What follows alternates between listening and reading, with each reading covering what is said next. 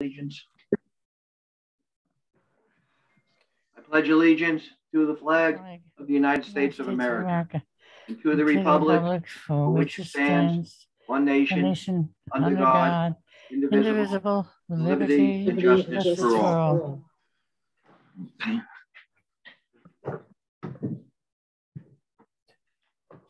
Okay, the primary uh, purpose of today's meeting is uh, presentation on the waste municipal wastewater treatment proposal. But before we go to that, we'll start with uh, Amber, our COVID update. Uh, yes, I've got the numbers for this week. Um, locally, we have um, 125 um, total cases since inception, up 10 from 115. Um, it is a big jump, but we're anecdotally hearing about fewer cases this week. So I think that um, hopefully things are flattening out. The state's, um, the county's positivity rate from last week to this week is 25.9% to 26.4%. So it was an increase of 0.5%. So that's starting to level out. And actually, the past couple days, um, the positivity rate has been below the 26.4%. So hopefully, um, things are starting to settle down a little bit. Hospitalizations, we're still towards the high end of the curve there, but that's always a lag, um, lagging indicator. So hopefully that will start to go down as well. Okay, and, and the one thing that uh, the three of us, you, myself, and Jimmy have discussed is uh, because of all the home tests, we're really not getting a, a, true number on how many people are actually sick. So it's just something, uh, again, it's the same thing, you know, just be aware, be careful, don't, uh, don't assume anything. Uh, we have been getting some calls on the Fitz Center. You know, people are kind of upset that it's closed, but we decided we would finish out this week and next Monday we'll make a determination uh, going forward what we're going to do. I think that, Chief, did you have anything else on your numbers? No, but I, I just wanted to add this uh, as we enter the winter season. Um, there are uh, calls. We haven't seen any in our community for the most part, but other communities provide warming shelters, and our senior service is our warming shelter. So I would just put out to the community if there's ever a need um, you can always reach out to the police department for a place to go, but during the daylight hours, we use our senior uh, center as a warming shelter for anybody that may need it. And we're pretty cognizant of uh, those without power or those with any special needs. But after hours, if something should happen, please don't hesitate to call the police department, especially during these uh, frigid temperatures. So I just wanted to put that out publicly and, and, and let the community know. Okay, good. Thank you. Okay, next on the uh, agenda, I just want to give an update. The uh, blood drive that was scheduled for January 20th this year is going to be rescheduled. Uh, the uh, Red Cross feels that it's not it's not a good time to do this, and I don't think it would be productive enough for them to come out and try to get it done now. But we will go forward with it, and we'll wait to hear from them. Uh, okay, before we start the next thing, I just want to read uh, the rules of public participation here because I think you know this is going to this topic will be going on for you know a number of weeks, and I just want to make sure you know we have some semblance of order going forward so we can uh, uh, make the most of it. The town and this is also posted on the website. The town board asks that all attendees treat this process and each other with dignity and respect and keep the following in mind. The work session shall be open for public viewing Information regarding attendance via Zoom can be obtained from the town website. The Zoom link is also available on the town website under the government tab if you go to the town board meetings. Public comments will, comments will be permitted at the end of the presentation. Comments shall be accepted in the following order. Town board, invited committee chairs and members, and then the general public. All comments are limited to the subject being discussed. The town board shall have the first opportunity to raise questions and comments. Invited committee members may ask questions once the town board has completed its discussion. After this, they will be allotted a single three-minute opportunity to express any opinion should they so choose. Following this question and answer, each member of the public will have one three-minute opportunity to speak. This limit does not apply to presenters placed on the agenda by the board, nor does it prohibit anyone from responding to a question from the board. All comments should be addressed directly to the board and not to uh, any other member of the public. The board or presenter may choose whether or not to respond to a comment or question. If the board responds, The commentator may speak for an additional minute in reply. Please refrain from shouting, repeatedly raising non-agenda items, distracting audible side conversations, or interrupting the speaker. You are free to express your opinions. However, violence, threats, slurs, defamation, intimidation, profanity, or unruly and disruptive behavior are not acceptable, contrary to the purpose of public discourse, and may lead to removal from the meeting or being electronically muted. The chat feature on Zoom shall be disabled for all elect electronically conducted meetings. Should not be used if it inadvertently left on. So I just want to have some semblance of order as we go forward. The purpose of today's meeting is the town board had put out a uh, request for proposals. We got a uh, re request in. We got a grant to do a study in the center to see uh, what we need to do with our uh, very significant nitrogen problem. Uh, the study was done. Lombardo Associates made a, uh, a full report to Joe Fenora, our town engineer. Joe presented it to the town board. And I, I just want to say the first time the town board saw it was the same time the public saw it. I mean, Joe told me what the concept was, but we didn't go into anything, any kind of detail until the actual presentation was made. So the presentation was made to the public uh, just to get everybody to understand, you know, what the pro project was.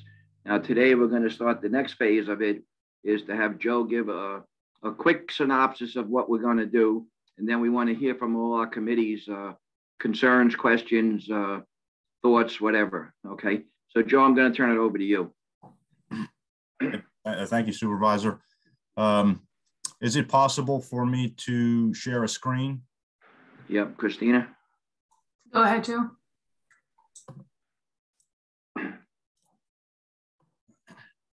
Okay, can you uh, can you see this uh, PDF that's in front of everyone? Yeah, if you could just make it a little bit bigger if you could. Sure, sure. Okay, so my uh, my plan for uh, this afternoon is to very quickly walk through orally uh, explaining the concept of our project, some background information, and I'm going to use the presentation that was offered by Lombardo Associates uh, when they came to uh, came to town back in mid-December uh, really just as a, a, resource, a visual resource here. I intended really to scroll through it uh, and not not let this be a um, uh, you know a duplicate type presentation. So um, so starting here at, the top, uh, like Jerry had said, um, this project is funded by two grants: New York State DEC uh, providing a portion of the funds, and then also uh, Suffolk County Water Quality Improvement Projects providing additional funding. The scope of the project is to first examine the, the feasibility of a wastewater management plan for our center municipal buildings. Uh, that's the, the, the point at which we are in the project right now. We've received our uh, initial engineering report examining a number of potential solutions. And the project also allows for us to progress to design phase. So it's funded through uh, through design. Uh, and we have stopped now after our initial engineering report to evaluate the options that were presented as part of the initial feasibility study and to uh, receive public uh, comment and for the committees to contribute based off of their uh, expertise to make a ultimately make a recommendation with how to proceed. Uh, so scrolling through here, you'll see that the the buildings included in the scope of the project are all of the municipal all of the municipal buildings here, you know, at the center of town, uh, the public library, the uh, fire department, youth center, uh, American Legion, the assessor's building, town hall building, the town-owned resident uh, residential housing adja directly adjacent to town hall, the police department, the justice court, and the high school. And the engineering study initially sought to identify what the contributions are uh, from those respective buildings uh, to understand what size uh, treatment or what, what style treatment would be available to us. Uh, they then looked at a number of our geophysical conditions to understand groundwater flows in the area, uh, what the biggest contributors were to our, our excessive uh, nitrogen groundwater, and ultimately uh, use that information to run through a needs analysis, which would help understand what type of technology would be best suited for this location. We looked at the existing location of septic systems and wells to understand what kind of spatial constraints we, we might have in combination with property ownership constraints. We then took uh, a further analysis of what sites could be available, either them being town owned uh, wholly or as part of a joint ownership with, uh, with the county to understand what sites could be used for uh, potential treatment and recharge locations. And what we landed on uh, was a gravity fed collection system that would service all of the municipal buildings uh, with a direct connection, uh, concentrating at one pump location and a low pressure force main carrying that effluent down the 114 corridor, extending around uh, Manwaring and ultimately landing at a treatment facility and recharge location at the airfield. The treatment technology would be more advanced than what we typically uh, have available to us for residential type wastewater treatment. It would allow us to to treat our wastewater uh, beyond simply uh, removing nitrogen. Uh, we would have the opportunity to adapt the system as our needs changed and also as we understood what our flow characteristics were. And we landed on a couple of uh, cost scenarios based off of the best proposal, which was to go to the airfield. Uh, we looked at what kind of grants might be available to help subsidize the ultimate cost. And the cost on the table now uh, is $3.8 million, exclusive of operating costs. Um, and then we opened up for discussion. I would say that the analysis of sites and treatment type uh, was really centered on finding the best solution. Uh, we have a number of opportunities to pursue this project with different sites, uh, with different gravity feed versus force main type uh, infrastructure. And in, in no situation do I feel that we're faced with a, a bad option, but this can very much be looked at as a, a good, better, best type situation where we've looked at other sites that could be available, um, other styles of collection systems. Uh, but the purpose of the project was not necessarily to find the most, um, uh, the cheapest or the, the quickest, uh, but to find the most effective and sustainable solution for a comprehensive wastewater system for all of our municipal buildings in town. So I really didn't do justice to all of the complexities of the project. Um, and I think the intention is to mostly open uh, this meeting up to conversation and, and uh, question and answer type format. So um, I guess, Jerry, I, would hand it back to you if you have any specific questions that the town board would like to, to, to ask or, yeah, uh, or at least stop sharing, please, Joe. Joe, I would uh, ask you just real quick to dumb it down a little bit and explain uh, that the only thing going to the airfield is the uh, liquid effluent, that there'll be uh, septics at each uh, building. That's right. So the, the technology that's proposed is what's called a septic effluent system. So each parcel would have a, a septic tank uh, that collects the, the first stage of, uh, of wastewater as it exits the building. Uh, nothing would go in the ground at those locations, but the septic tank would be an opportunity to collect solids on site, similar to how a septic system works on a residential uh, system now, except that instead of having a drain field or a leaching pool on each particular site, any effluent, any liquid that would be passing through the septic system would be captured and sent for treatment. So we would, in this format, not be allowing any uh, wastewater to percolate into the ground on a particular site. It would all be carried uh, to one centralized treatment center. Any town board, any questions before uh, we go to the committees? Jim, Yeah, Jim has Jerry, one, I have- I have one, please. Go ahead. I think your question was uh, one of the two questions I wanted to ask. By dumbing it down, that was a pretty good layman's explanation, Joe, of, of what we're, you know, what, how the system works. During your first opening remarks of, you talked about finding the best solution. You talked about three categories. We could find something that's good, something that's better, and something that's best. I'm assuming that the best, in your estimation, and, and is where this effluent finally ends up. And I, I'm, I'm, I'm thinking that you're thinking the best place for that is the airstrip. So I know you're going to get questions, and, and seems to be the major questions that's is where this stuff is going, not about the need for the for the treatment, not about the buildings and the and the eight parcels that we've designated, but I think that question needs to be ans- answered. And I have one other thing that I think you need to address. Maybe it's the easier of the two to go first. Is this idea about planning for the future? So you, you, you're talking about putting a system in the ground.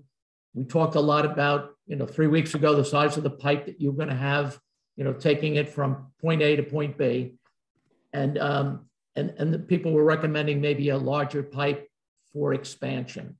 Could you maybe talk about those two points? Uh, my thing as a town board member is that when it comes to expansion, we weren't talking about opening up the homeowners associations. We were talking about the potential growth of the town infrastructure and other things along possibly Route 114. Uh, could you elaborate on those two items? Because I think a fair share of the questions are going to be about those two things. Yeah. So uh, as I mentioned during the uh, the initial slides we, we went through, there are a number of other sites that uh, could could be solutions for uh, treatment and, and recharge. Uh, the, the only site that's not considered to be in the center of the island is the airfield. And back to your comment, Jim, about good, better, best.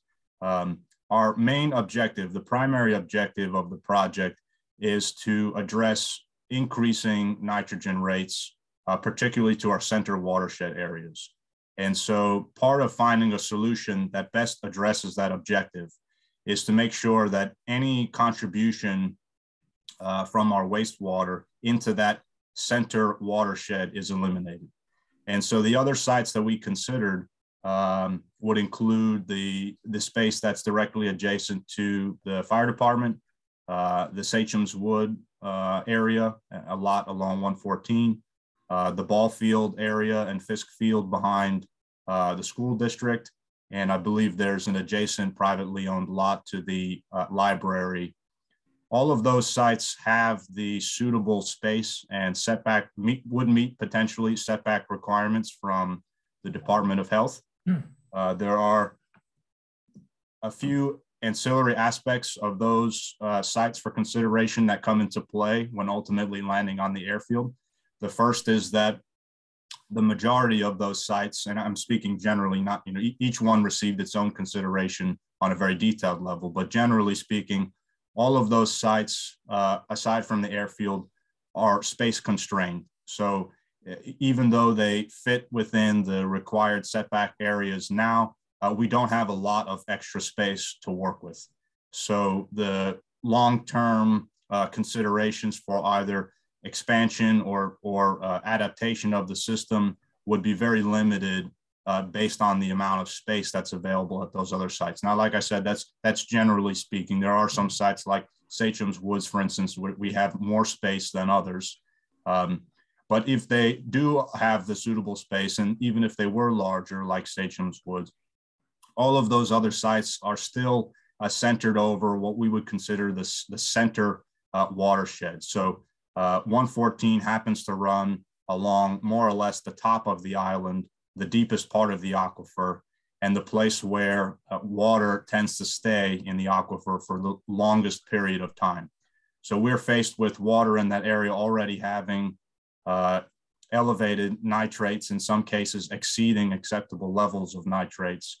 And so when addressing the primary objective of the project to, to uh, combat those elevated nitrates, we're looking to take any effluent and remove it outside of that watershed. Of all of the sites that were available and considered, the airfield is the only one that's not directly above uh, that high point in the aquifer.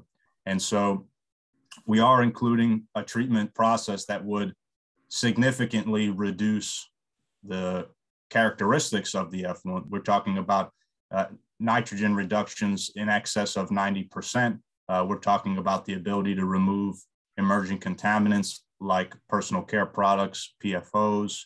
Um, but I think what's important to consider about um, the effluent that's leaving even this highly treated uh, state is that clean is a very relative term. And what we're considering now, or what our situation is now, is that all of these buildings effectively are, are outhouses. They're holes in the ground with essentially no treatment. So anything we do is, yes, a, a tremendous improvement. But even when you're processing effluent through um, a state of the art facility with all of those capabilities uh, to make it clean, it's still not perfectly clean. It's an outrageous improvement, tremendous improvement in quality. Uh, but when our when we're reviewing our primary objective of of trying to provide as much benefit uh, to the nitrogen situation in the center of town, the best way to uh, to complement that is to remove remove the contribution to the groundwater uh, entirely. So by relocating to a place that's um, a different a different watershed. Joe, you use the term expansion and then you use the term adaptation. Could you explain to the people the difference between those two terms? Sure. Ex expansion correlates directly to a change in um, capacity. So either by uh, adding more uh, users, uh, more parcels or buildings, or by expanding an existing uh, user uh, to have more individual capacity. So uh, if the school was to expand, they would be contributing greater flow, even though they're already on the system. If town hall was to expand, uh, or if the Legion was to expand and their capacity to hold people, then their particular their particular flow contributions would go up. So there are multiple ways for expansion.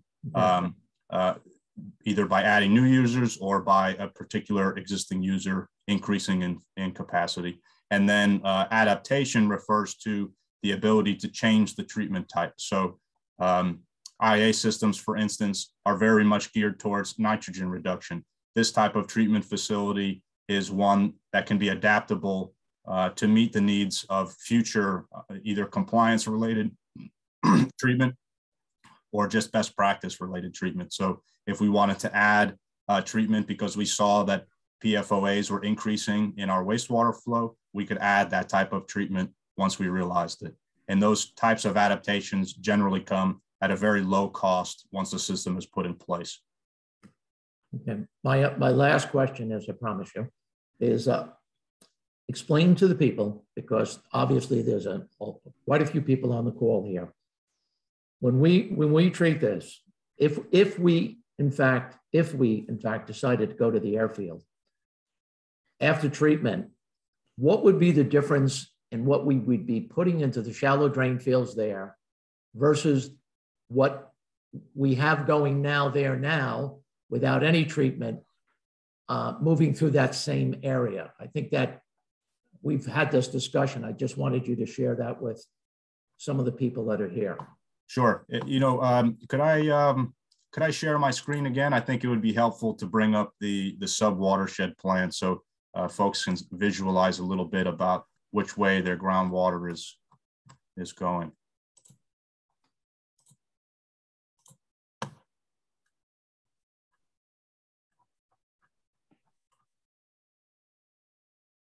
So this, this drawing down here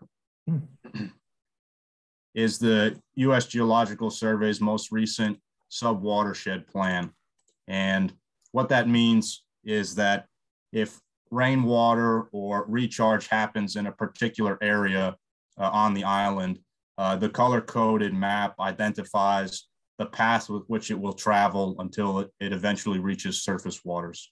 Surface waters generally in our situation are, are you know, our surrounding estuaries or harbors, uh, but it can also mean um, enclosed bodies of water like uh, ponds or lakes. And so uh, probably a little bit trickier to see, but you'll notice that the center of the island here, which is what I was referring to before as this 114 uh, corridor, uh, happens to be more or less right at the very top of all of these watersheds. And so uh, not only does it take a very, very long time for this water to be diluted and to uh, eventually exit the aquifer, uh, but it can go in so many different directions now.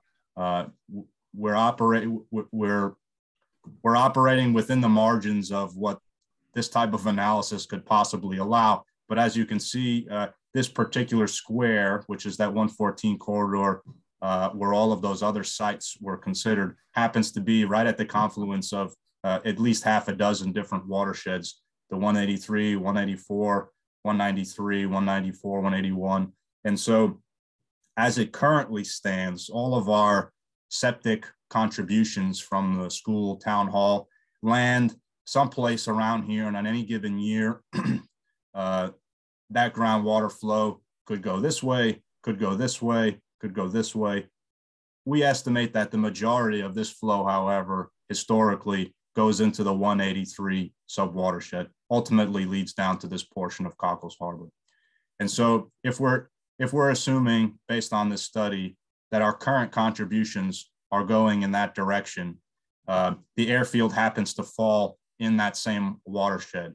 And so if we were to collect this effluent, treat it, and put it someplace else in the same watershed, we would effectively have no, no net change in the watershed contribution. We're just bypassing uh, one area to another within the same within the same sub watershed. So um, in this case, uh, we would be eliminating the highly toxic contributions that we're making now, the untreated uh, cesspool type uh, arrangement, and we would be replacing it with, you know, this uh, highly treated, significantly reduced concentration effluent, uh, primarily to the same to the same watershed region. Thank you, Joe.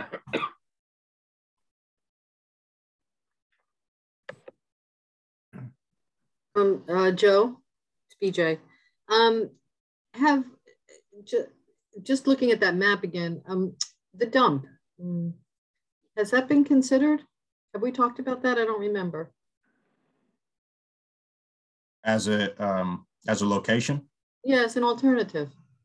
No, gen generally no. Uh, and, and that's uh, mostly because of the regulatory issues that surround a closed landfill and the existing the existing uses. All right.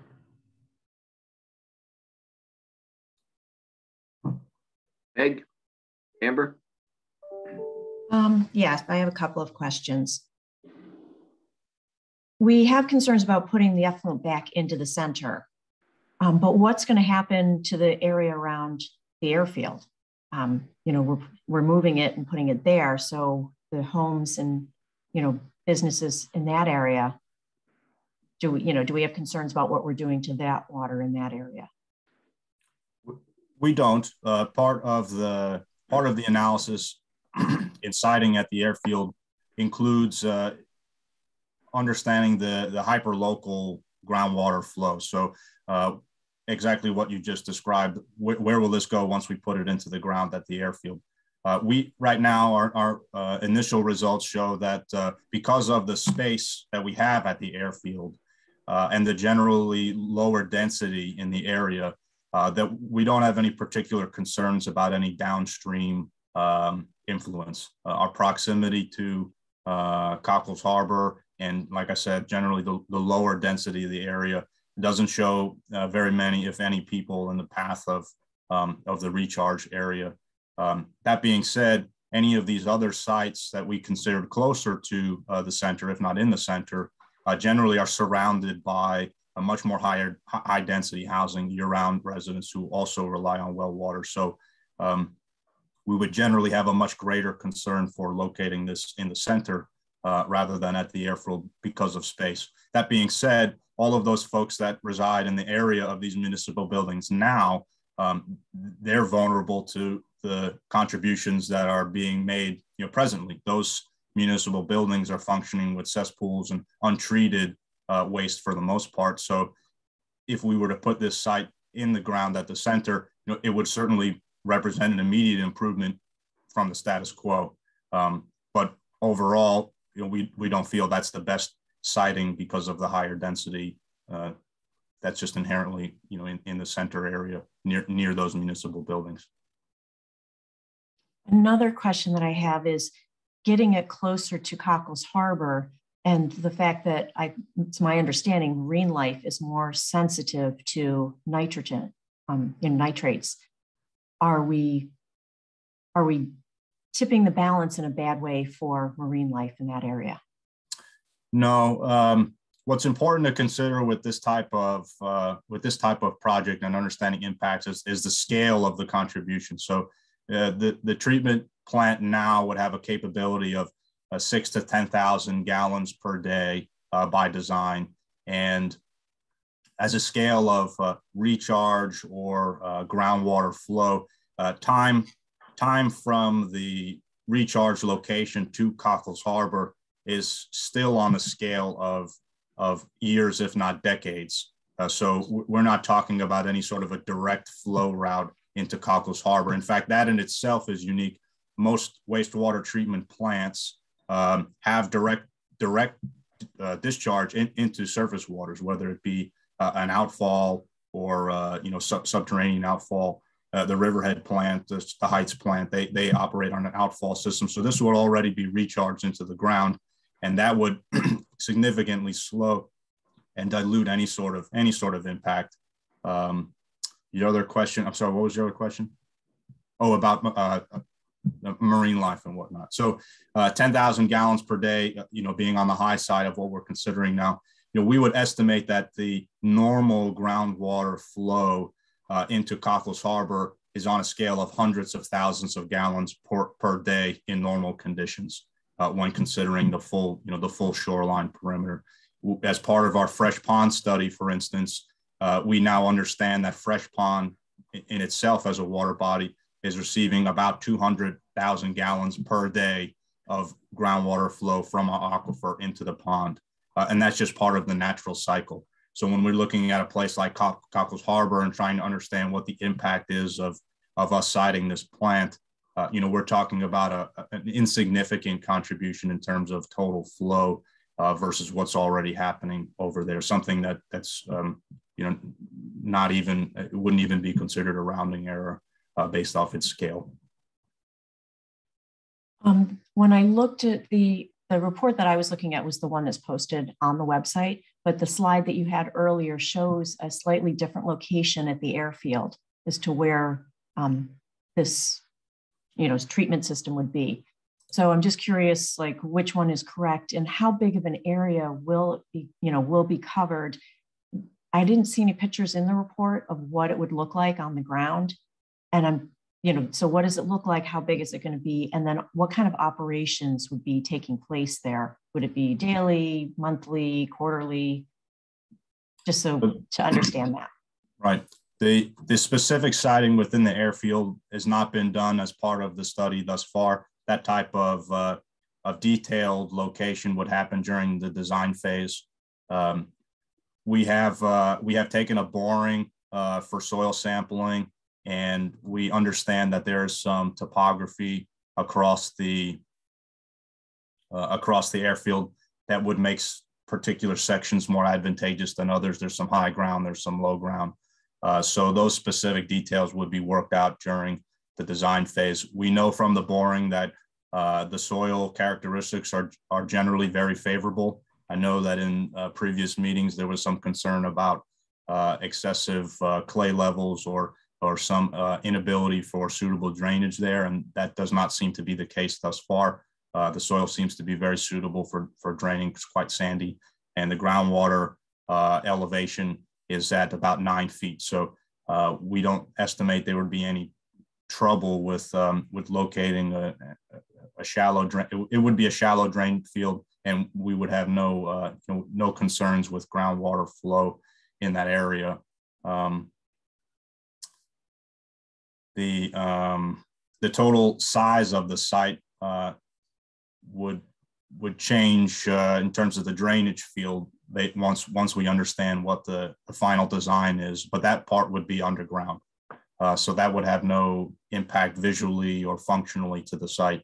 Uh, the only structure or uh, change aesthetically to the to the site, and this is for any for any location, not not just the airfield, uh, would be a small structure on a scale of 400 to 600 square feet, and that has the potential to also be underground, uh, but is uh, at least initially preferred to be above ground for accessibility, and that's where the treatment equipment would be. Um, any any other uh, controls that would need to be more readily accessible would be inside that structure. Uh, and so there's, you know, certainly at this stage, quite a bit of flexibility as to where that goes on the site. Uh, and we're still understanding, uh, you know, what the, the, the nitty gritty of the site would have for us. And we know that there are some, there is some low ground and there's some high ground, some wooded area as well. Um, so we're still looking into those details. Operationally, um, there's a requirement for testing and um, for quality control. Uh, right now, uh, we estimate conservatively, conservatively being a higher frequency, that that would need to be done uh, about twice per week, um, depending on the performance and the um, and the regulatory impact. It may be able to be reduced to as little as uh, once per week or um, a few times per month. So there's some flexibility in that. Uh, right now, we're estimating uh, about twice per week. And that would be a single a single person, um, you know, accessing the site with the regular vehicle. That's all that I had for now.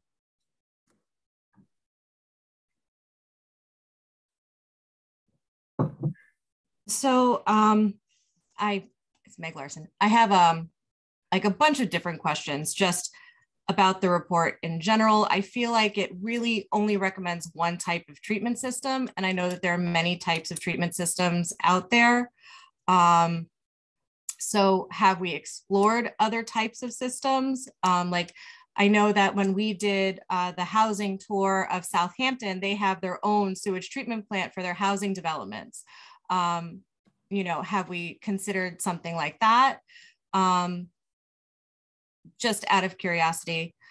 Um, and then do we have other well water sample tests? Like, do we have nitrate data from other wells in the center of town or more samples? Because in the study, there's really only five samples cited.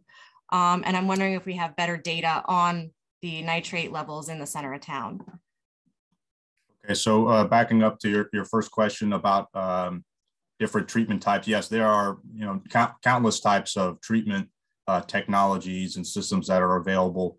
Uh, there's a couple of reasons how this got uh, narrowed. The first is that we have to work within the confines of what's approved and considered acceptable by Suffolk County. So, you know, there may be hundreds or if not thousands of different proprietary systems that are available, but um, Suffolk County only recognizes and allows a very narrow subset of those within those that Suffolk County does allow, um, a number of them are not considered to be uh, newer or high level treatment technologies. They are uh, more generally accepted, and I, would hate to use the word antiquated, but they're they're not space saving or high performing type systems. They're the type of systems that are best suited for very very large scale type sewage treatment.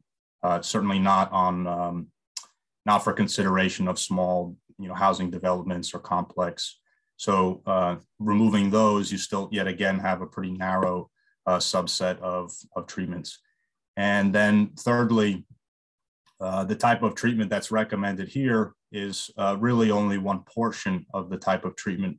The actual full treatment spectrum and, and plan would be developed in design phase as we are understanding what the flow char uh, characteristics are and, and what additional components we might need to add if it's treatment for personal care products or um, pharmaceuticals. You know, those, those are customizable type treatment protocols.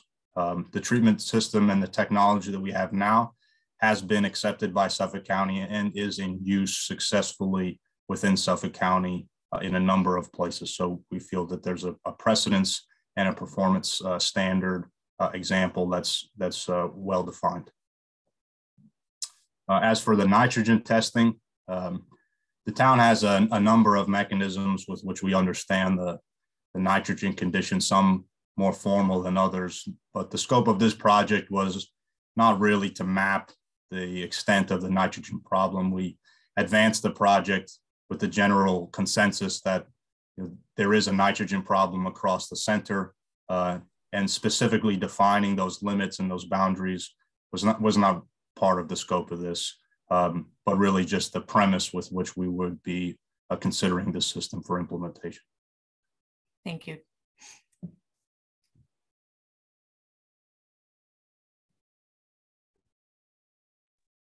You're muted, Jerry.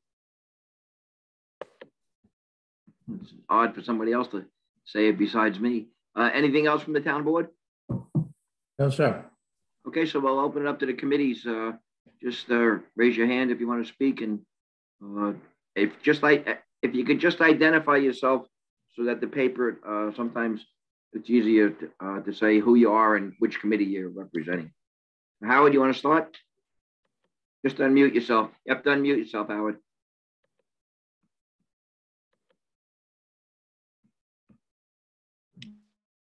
Okay.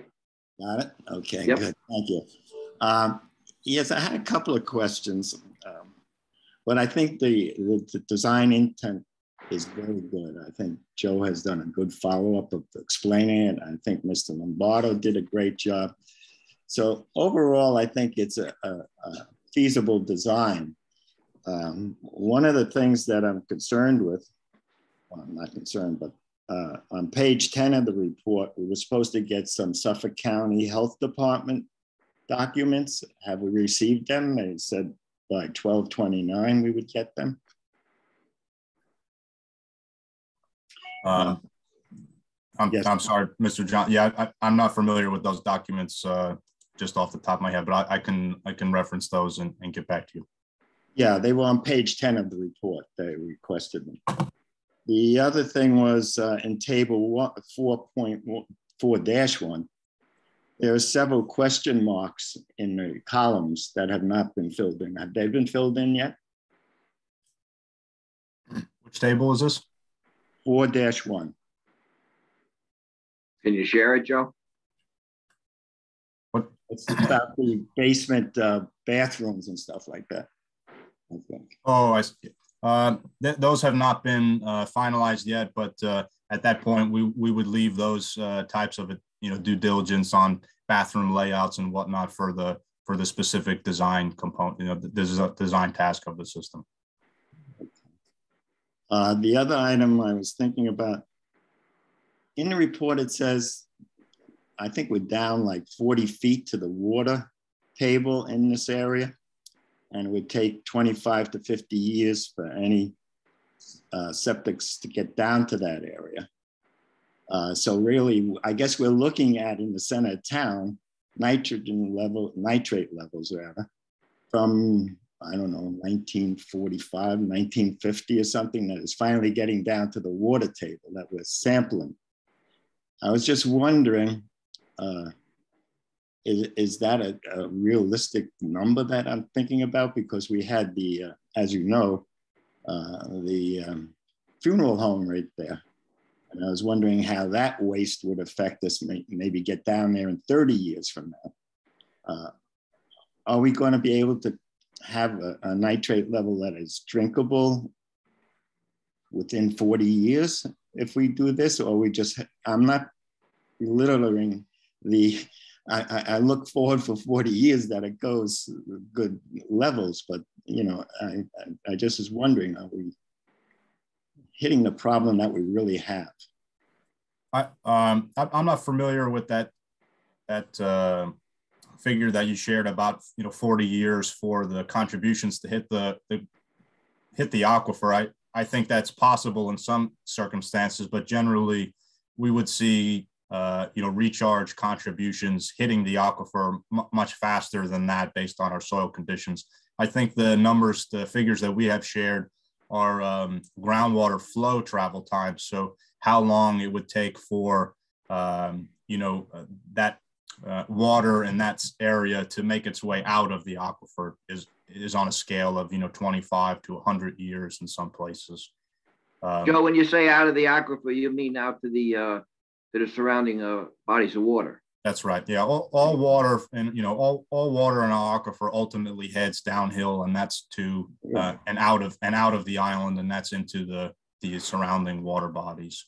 Mm-hmm. Um, so it's it's really a matter of how long it takes for the water to get there, and that's a natural that's a natural flow. You know, that, and that's that's a good thing.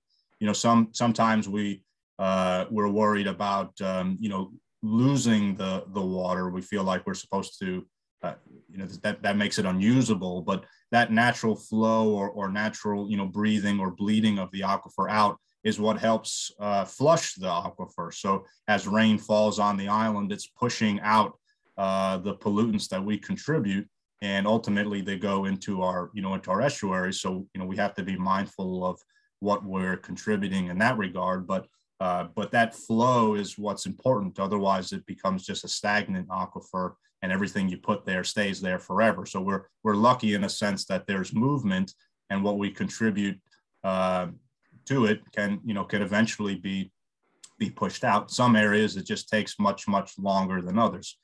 Uh, now, with respect to your question about, you know, will, will this particular project uh, make our nitrogen levels below the, the New York State and EPA standards? That's a very, very difficult question to answer. Uh, the problem, you know, about excess nitrogen in the center area and other parts of the island um, is, is far more widespread uh, than just the municipal buildings. You know, we have identified uh, some of the largest single point contributors uh, because of their scale and their use, like the school or town hall, uh, where people are, you know, generally congregate and, and have used historically for a long time.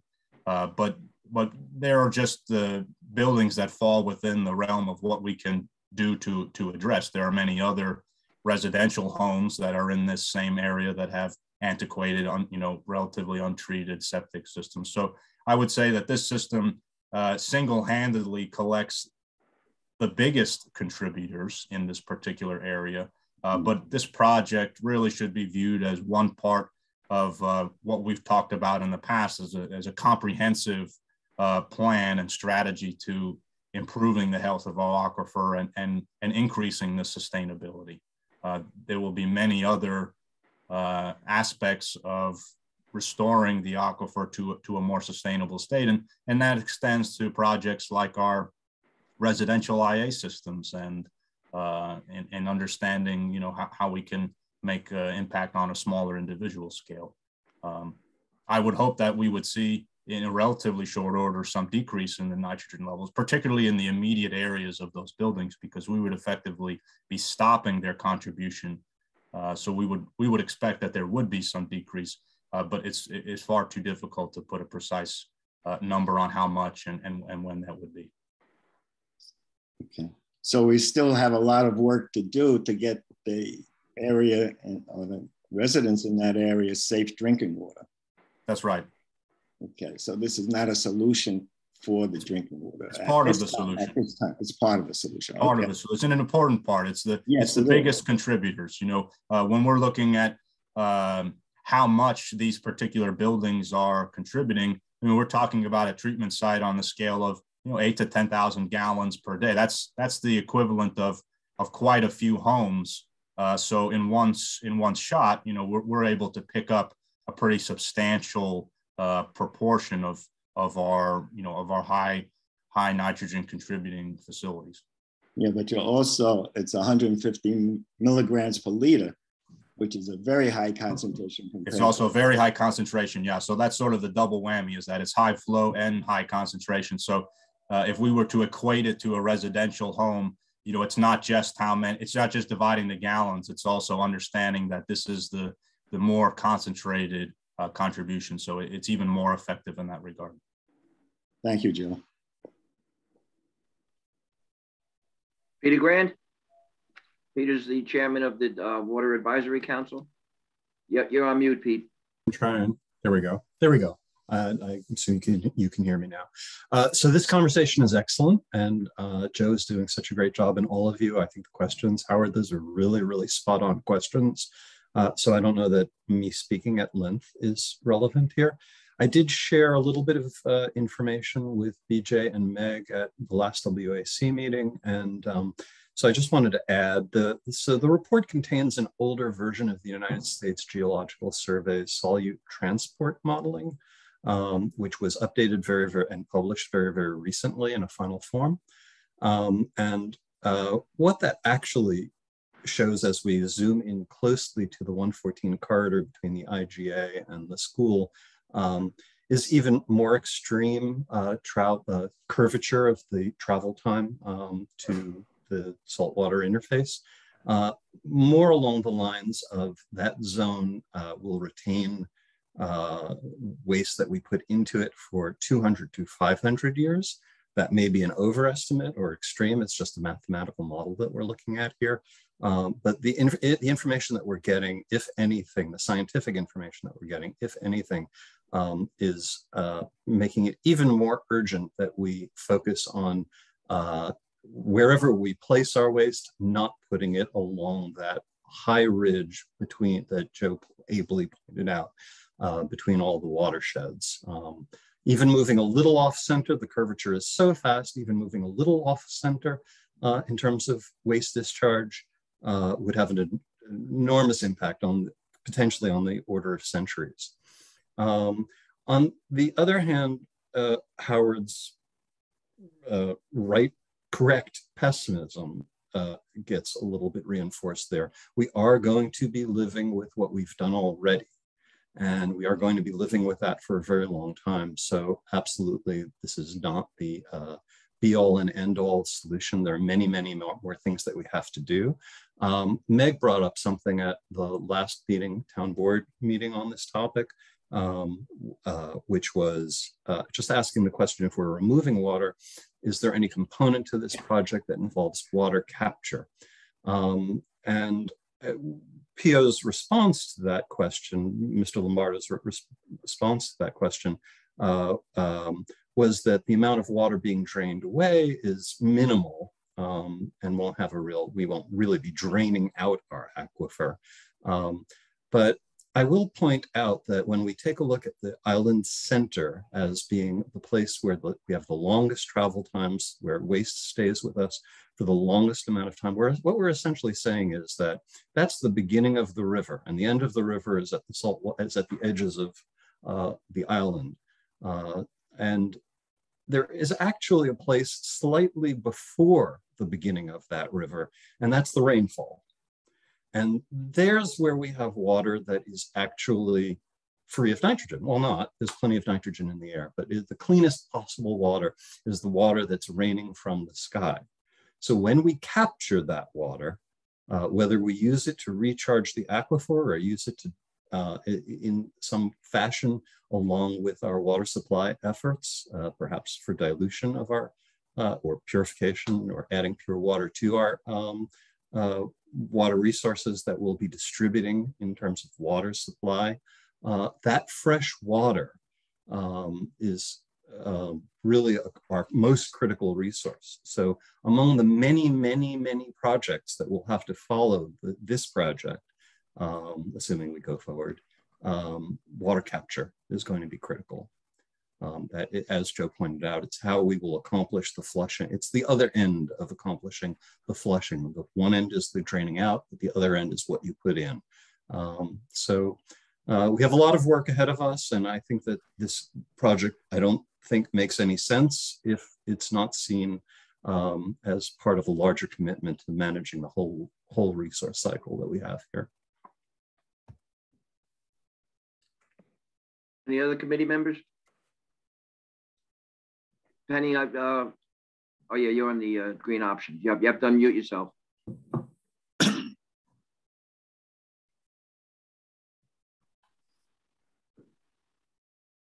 Um, I, That, I'm yeah, happy. yeah. You can hear me? Yep. Okay. Um, well, first of all, I've been provoked by many things I've heard and had many questions and many, you know, ideas from what everyone has said. So it's sort of hard to, you know, uh, focus down on any, anything specifically, but I will just go off my notes and I did read the proposal completely. Uh, and I've also looked at John Cronin's um, report that he gave the town in 2019, uh, where an intern had also sampled wells, and that's sort of generated some of this concern because of nitrate levels. And uh, I looked at their graphics, which I found very interesting.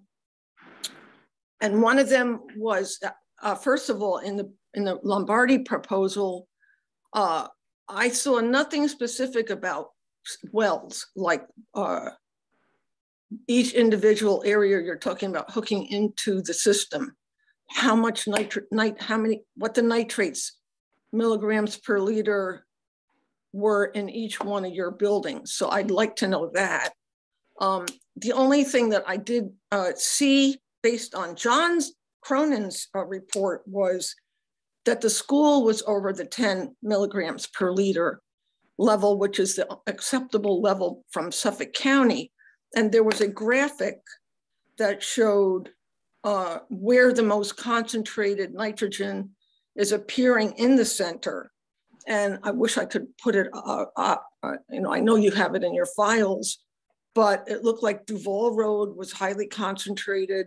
Midway Road from Smith Street all the way to at least Bowditch, uh, along that whole, all the well sampled along there and Sunshine heading down towards, uh, you know, in Fresh Pond area. And so uh, to me, the thing that, and I know this from having lived here for many years, the night, the school seems to be the center, the central nitrogen um, source, nitrate source. Uh, and it looks, I mean, it looks to me like it's going out in multiple directions away from the school, uh, not in any one particular direction. And you can also see other, by color coding, you know, various parts have 4%, 2%, 5%. And it looked to me like uh, along 114, they were around four or 5%. And his, he graphed it, their statistics graphed it that over time they saw this developing into a problem that it would reach a point where it was no longer drinkable. But right now, all of your, based on what I've, all the information I have, is that your water is still usable. The school is the one that isn't. And so my question is, how, what is the real need? Because they even used the word sufficient. He said, right now they are sufficient, and in his uh, in his report. So that's question number one. I really would like information on nitrogen levels in all of these buildings. Um, uh, also, um, I'm quite concerned about the whole concept as a as a as an environmentally sensitive issue of moving any water into an area that is sensitive. And I see uh, the Lily Pond Mill Pond complex, which is very close to this uh, proposed area, and all of the wetlands that go beyond it, which includes my land, by the way. Uh, and uh, I'm very concerned about how that, which direction that water is going to go to find deeper water, or as you, and the thing that concerns me the most is thinking of open water as a final dumping place, like whether the way this all proposed is that it will reach this pond or it will reach the harbor or it will reach wherever. And it's like, and, and it's no longer our issue. It's no longer our problem. And to me, it is our problem.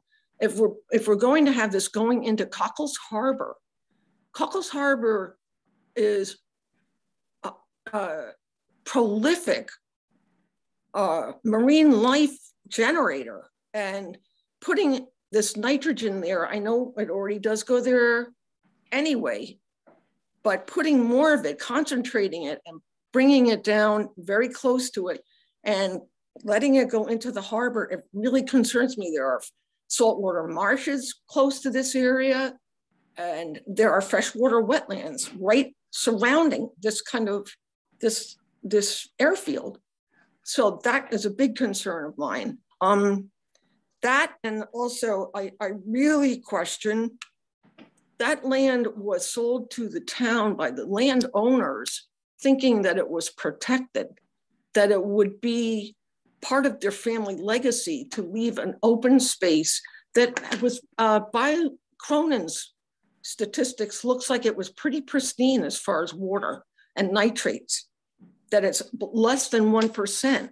So to bring in more and, and, and to is, it makes me wonder who's going to want to sell their 2% land to the 2% committee if they don't know what the ultimate long-term use of it will be. If it's going to then all of a sudden turn into a sewage treatment area after you think that you've protected it and it's there to recharge. It's recharging our aquifer right now, only it's clean.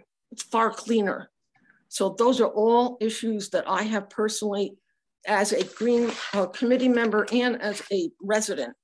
Um, I have lots of other questions, but I will stop it for now. And I look forward to getting uh, into more of these issues. Um, one other thing, this is having lived in this area for this particular part of Shelter Island for 20 years.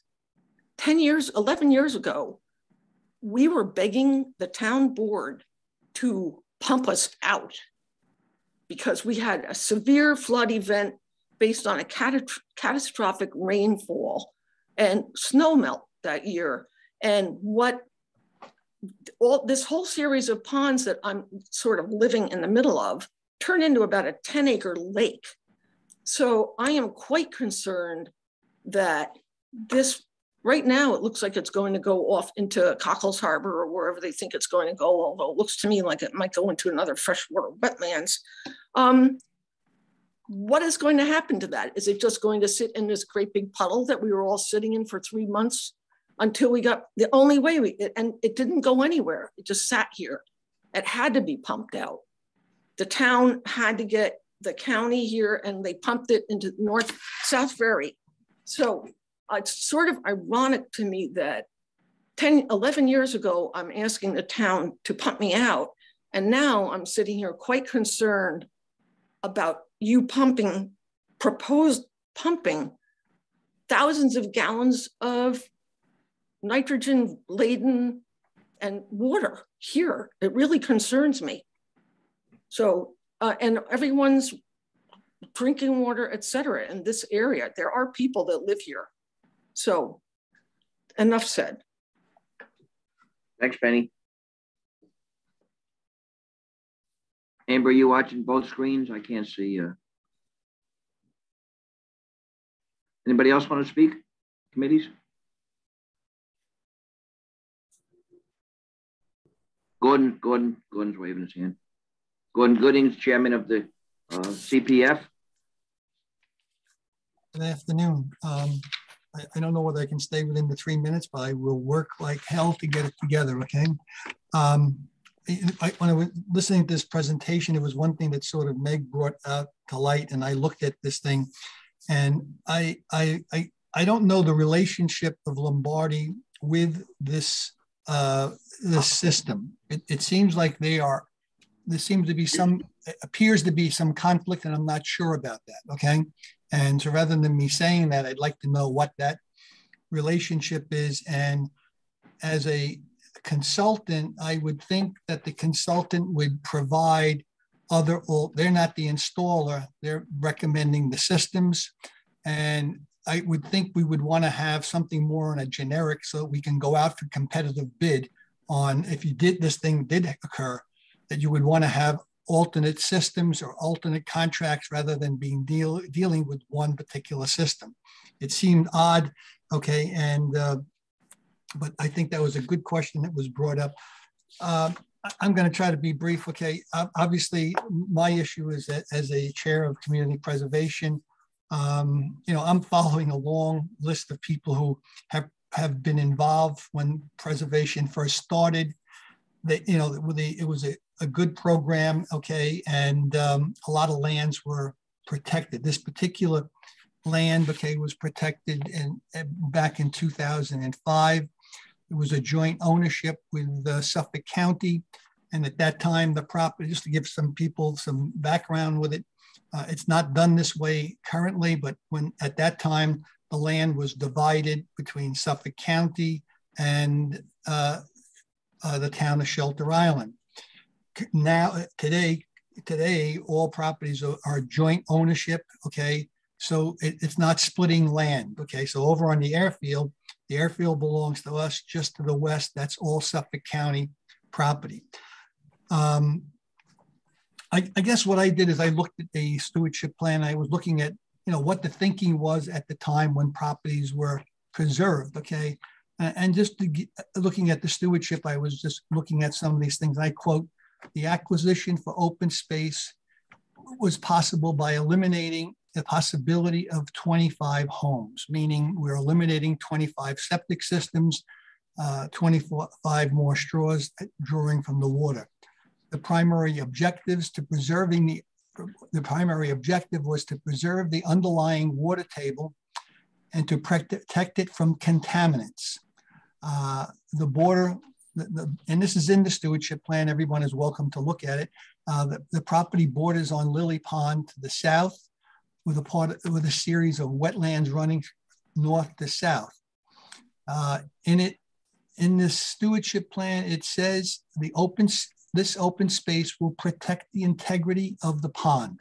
Now we have two ponds, Lily Pond, and there's one to the north, okay, which is part of the Quaker, uh, Quaker, what was originally the Quaker uh, property, okay?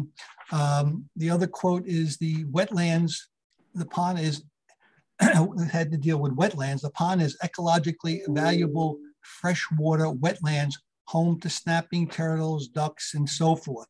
So we have some language in here which was created at the time the property was acquired that was really for um, re recharge, not recharge, it was for protection of the property, less development, less density.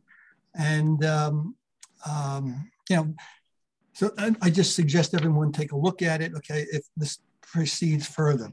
Um, this proposal, this proposed usage of CPF property for leaching fields will be the first on Shelter Island on community preservation land.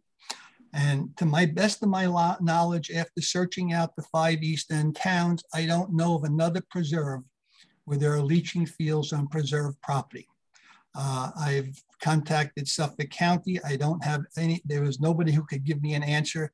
And to the best of their knowledge, that was not in existence. So really, I guess my question is, and this is what begs the question, okay, what property would be next for different types of usage, okay?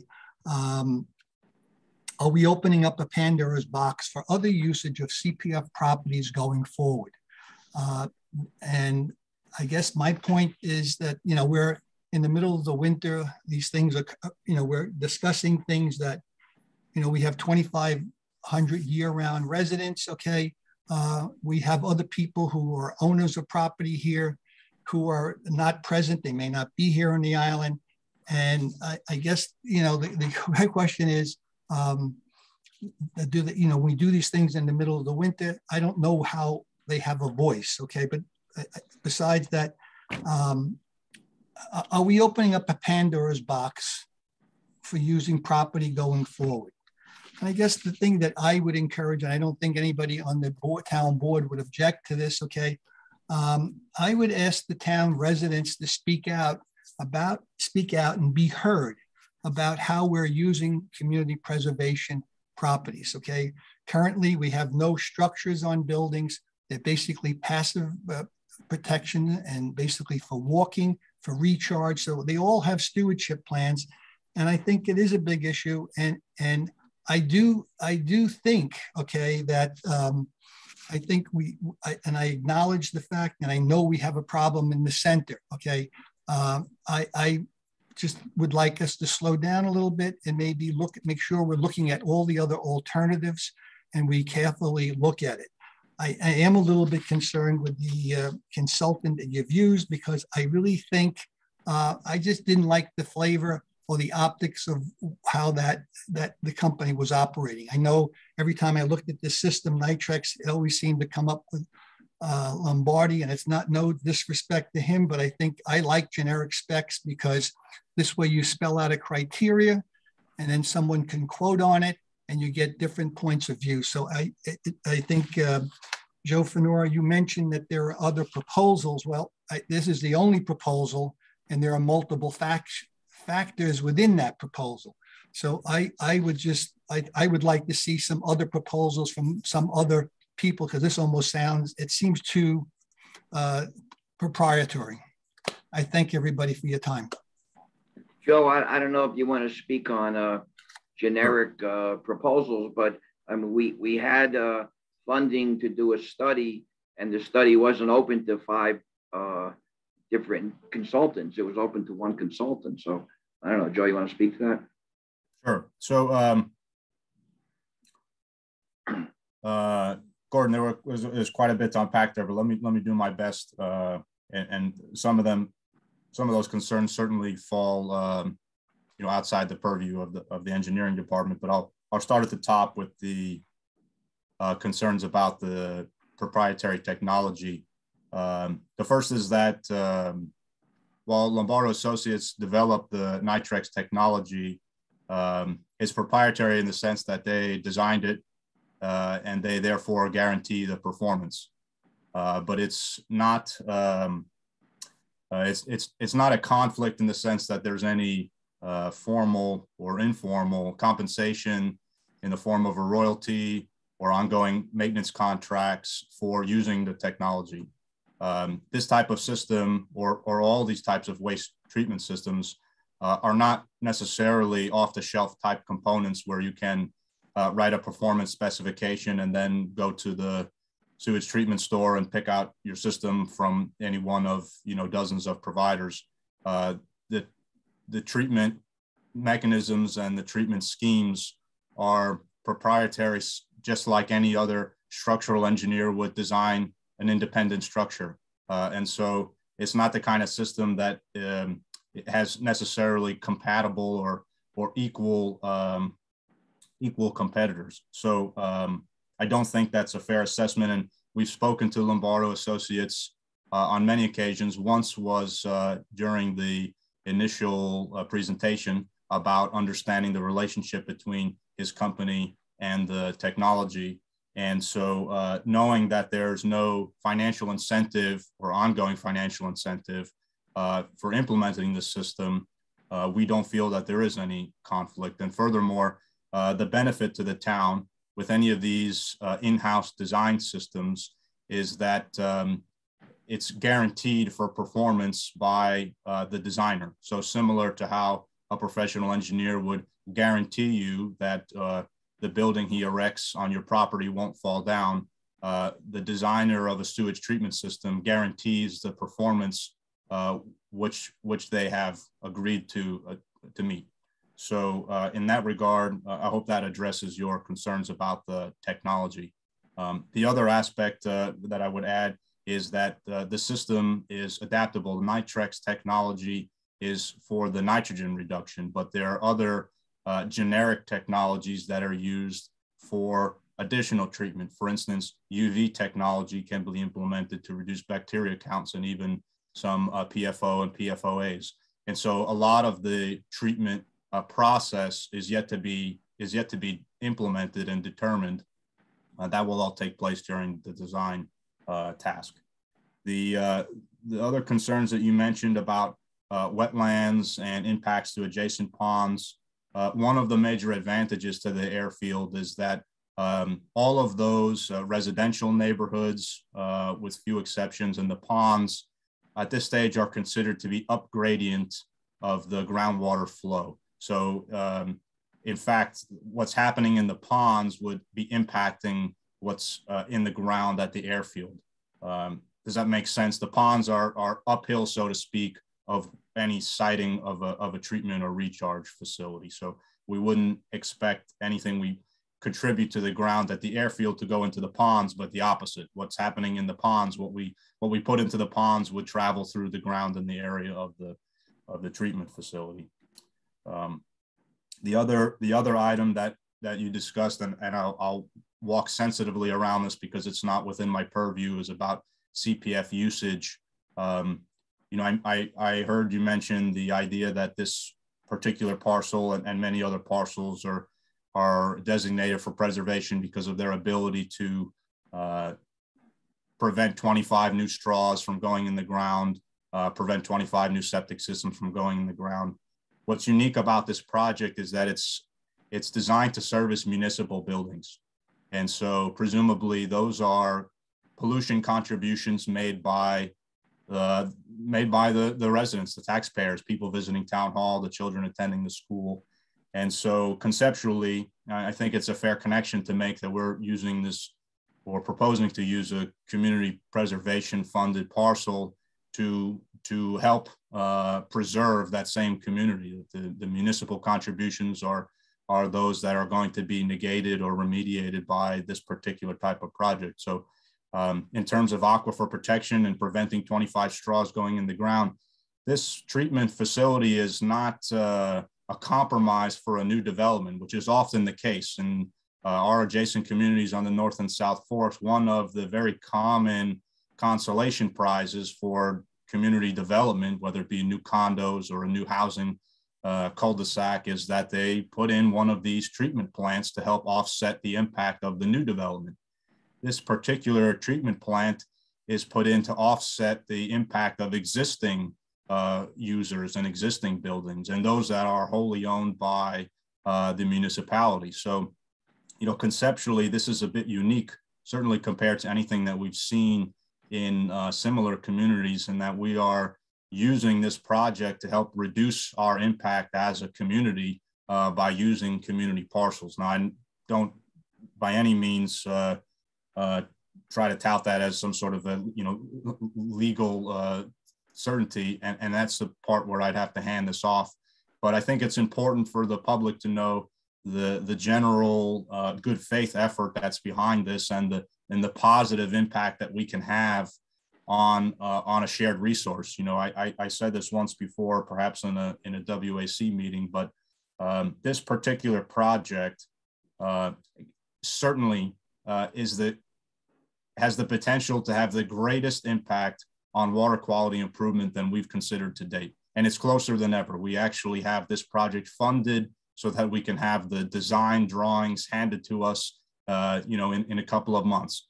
And uh, we've not, certainly not during my tenure, and as far as I know, during John Cronin's, we've not had a project of, of similar potential and scale to do so much good uh, for our community. Water quality improvement has been something that has been it, it's discussed on a, on a weekly basis at town board work sessions. It's discussed in all of the town board member campaigns that i hear. It's there's countless committees that are working to address these issues this is the first opportunity we have to make a real real difference on how our municipality uh, is contributing to our to our nitrogen problem so i would encourage all those members of the community to continue to follow the updates on these reports the report that's posted on the website now was the was the initial draft report. We've since had an update that I'm, I'm nearly finished reviewing, which considers a lot of these other questions that I've heard today, namely uh, flood concerns. Uh, one of the subsequent analysis that we had done uh, from the first presentation was to understand what are the impacts of uh, sea level rise, what are the impacts on um, high severity rainfalls uh, because of what we've known to be known to have had some some flood events.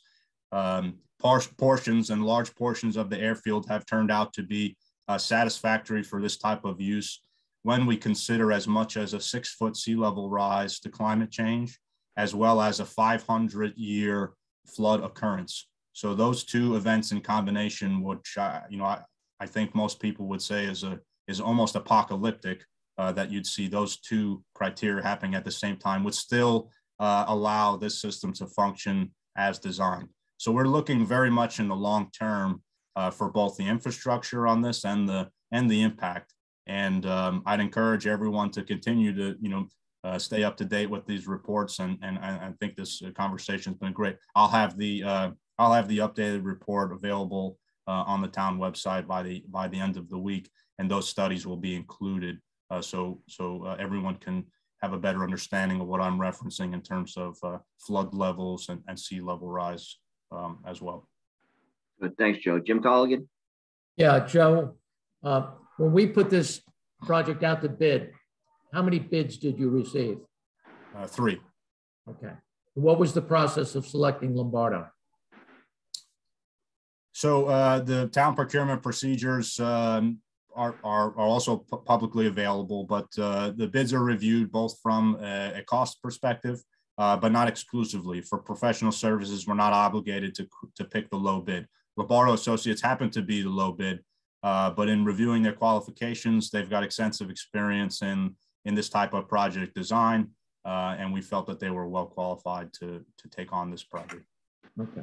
My, my second comment, uh, Mr. Supervisor, is Peter Grant's comment about it needs to be part of a larger plan.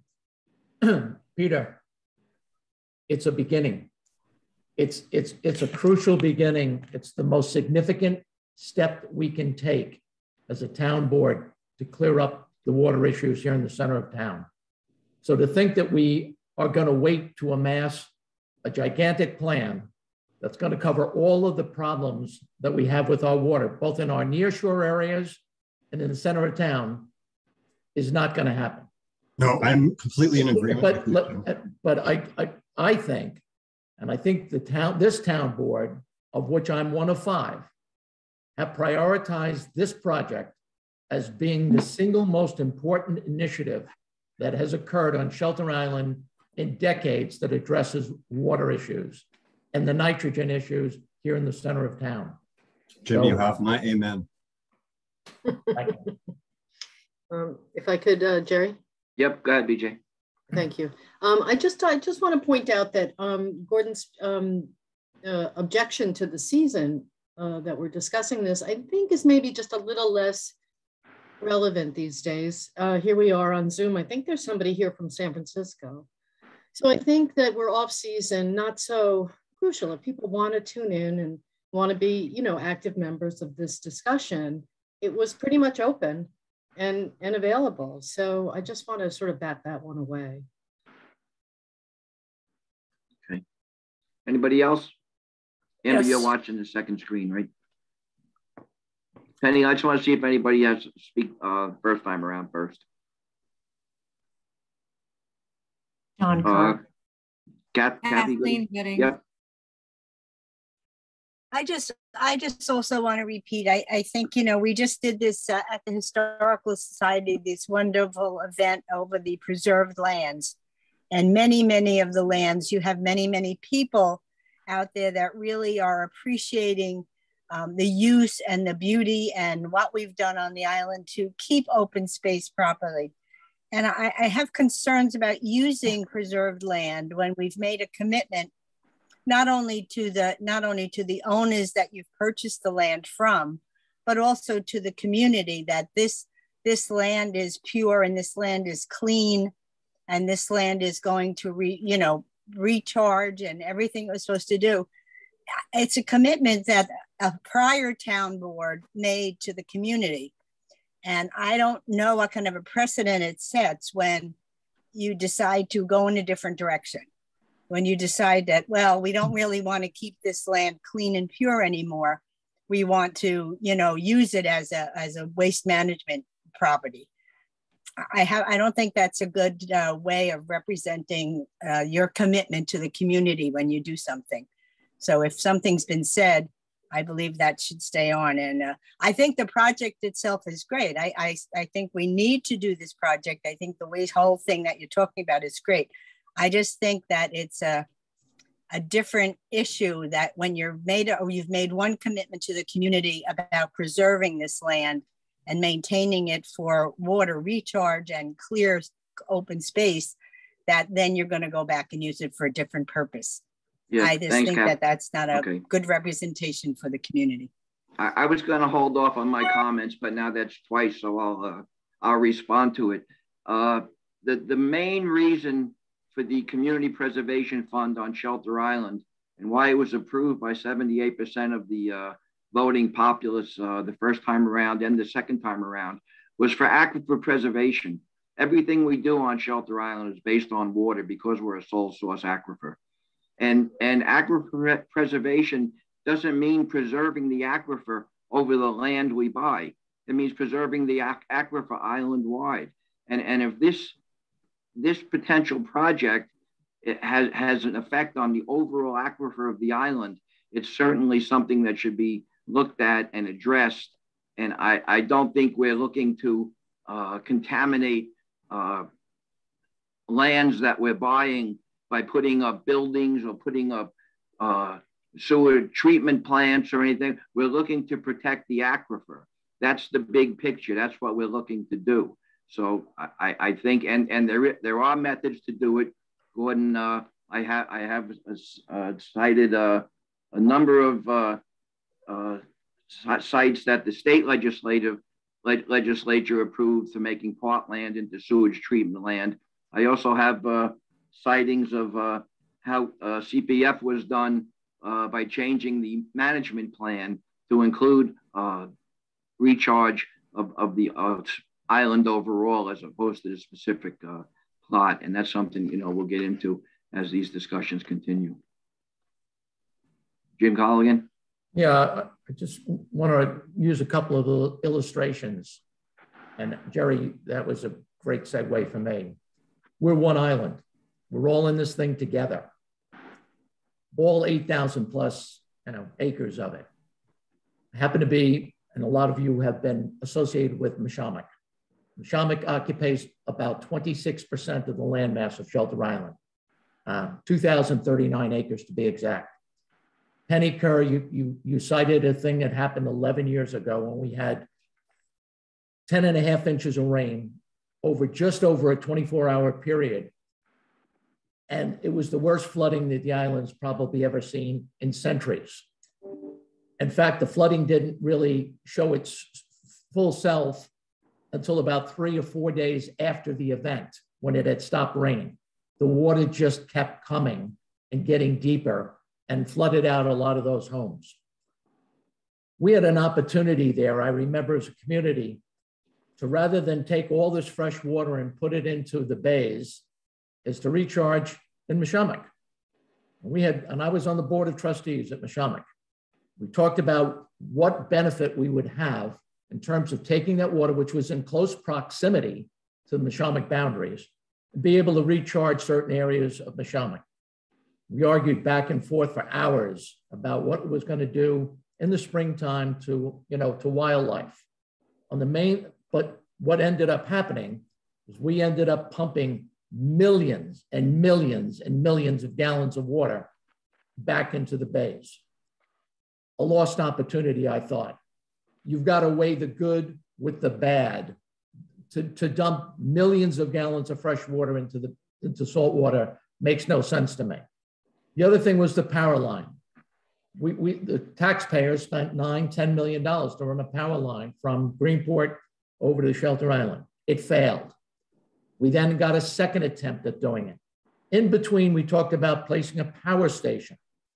I was at the meeting on a Saturday morning and said, listen, with 2,039 acres, we could carve out, all they're looking for is about one acre of land to put this power station off of Route 114 in close proximity to 114. And I was praised for thinking outside the box and then chastised because somebody in, will remain nameless in a very high position at, at Mashomack uh, on that board said, oh, good, then I want to buy an acre also or two acres. We had an opportunity there to, to think, even entertain. I don't say that it had to go there, but we never even seriously considered it. Why?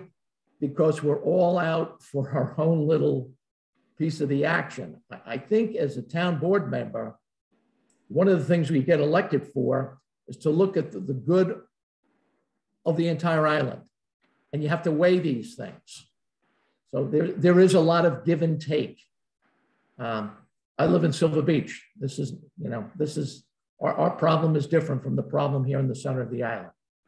But it, it's something that I, I love these comments. I think a lot of them are legitimate. I think Joe benefits from hearing from them. So does so do the town board members.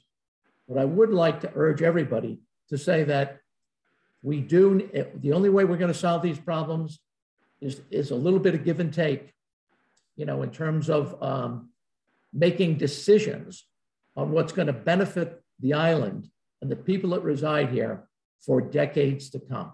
Thank you. Okay, John Kerr, I see your, your hand up. You have to unmute yes, yourself. Thank John. you. Thank you. Uh, Joe, I asked a question of Jerry at the last uh, board meeting concerning uh, the actual uh, toxicity of the effluent coming out of this Nitrex system. And uh, he said he'd pass it on to you. And I've done a lot of research on this. I can't find data anywhere about what is that effluent, uh, what's in it. Uh, the pharmaceuticals, I assume, would still be in it because this system we're getting is not going to include that. I assume it's also going to include the PFOs. Uh, I imagine it'll include the bacterias and viruses, whatever is coming flushed down, all is being washed out. I need to see exact data, what comes out of that, if we're going to be dumping that into our environment. So that's my first question. The second question relates to the concept here. When you pump from a well, you can create a cone of depression, which means you're sucking water from a whole area around that in a cone shape as it goes down. When you do that, you end up making the soils collapse. It's called subsidence. And the more pumping you do, the more it will subside. And when we have subsidence, we destroy foundations, we, do, we break plumbing, we do a lot of serious problems underground. By taking this water, there's potentially 2 million gallons, and pumping it to the airfield, you're taking that water which helped counteract subsidence. So all those wells that are constantly sucking will have more water coming back into them. So that water really should not be recharged down at a low position. It should be recharged at a high position in the island. When you put that water up there, it will contribute to the flushing of the center to allow the center to be able to recharge itself. If you're putting only 2% nitrates, nitrogen in nitrates into the water there, it will then have a chance to flush out, dilute whatever's being produced in that area, and then can percolate down to the different watersheds to wherever it's going to go. That makes sense. That is that's scientific information. It's not pumping stuff in places where it doesn't belong and where you're going to pollute things that don't need to be polluted. Thank you. Joe? Sure. Um, uh, addressing your, your first point, John, um, uh, in terms of the the output, um, largely that's influenced by what the input is, uh, which we which we don't have a full understanding of yet. Uh, so uh, the system would be uh, modified or adapted or designed at this stage to include removal of those contaminants that that that would be present that would be intended to be removed. So, for instance, uh, if PFOAs are in the flow stream at a level above what's uh, allowed, then treatment for PFOAs would be included. If uh, pharmaceuticals were uh, in the flow uh, above a limit that we would deem acceptable, then we would include treatment of, uh, of, of, pharmaceuticals. Overwhelmingly, and I won't say for every case, but overwhelmingly, sewage treatment is required to have disinfection.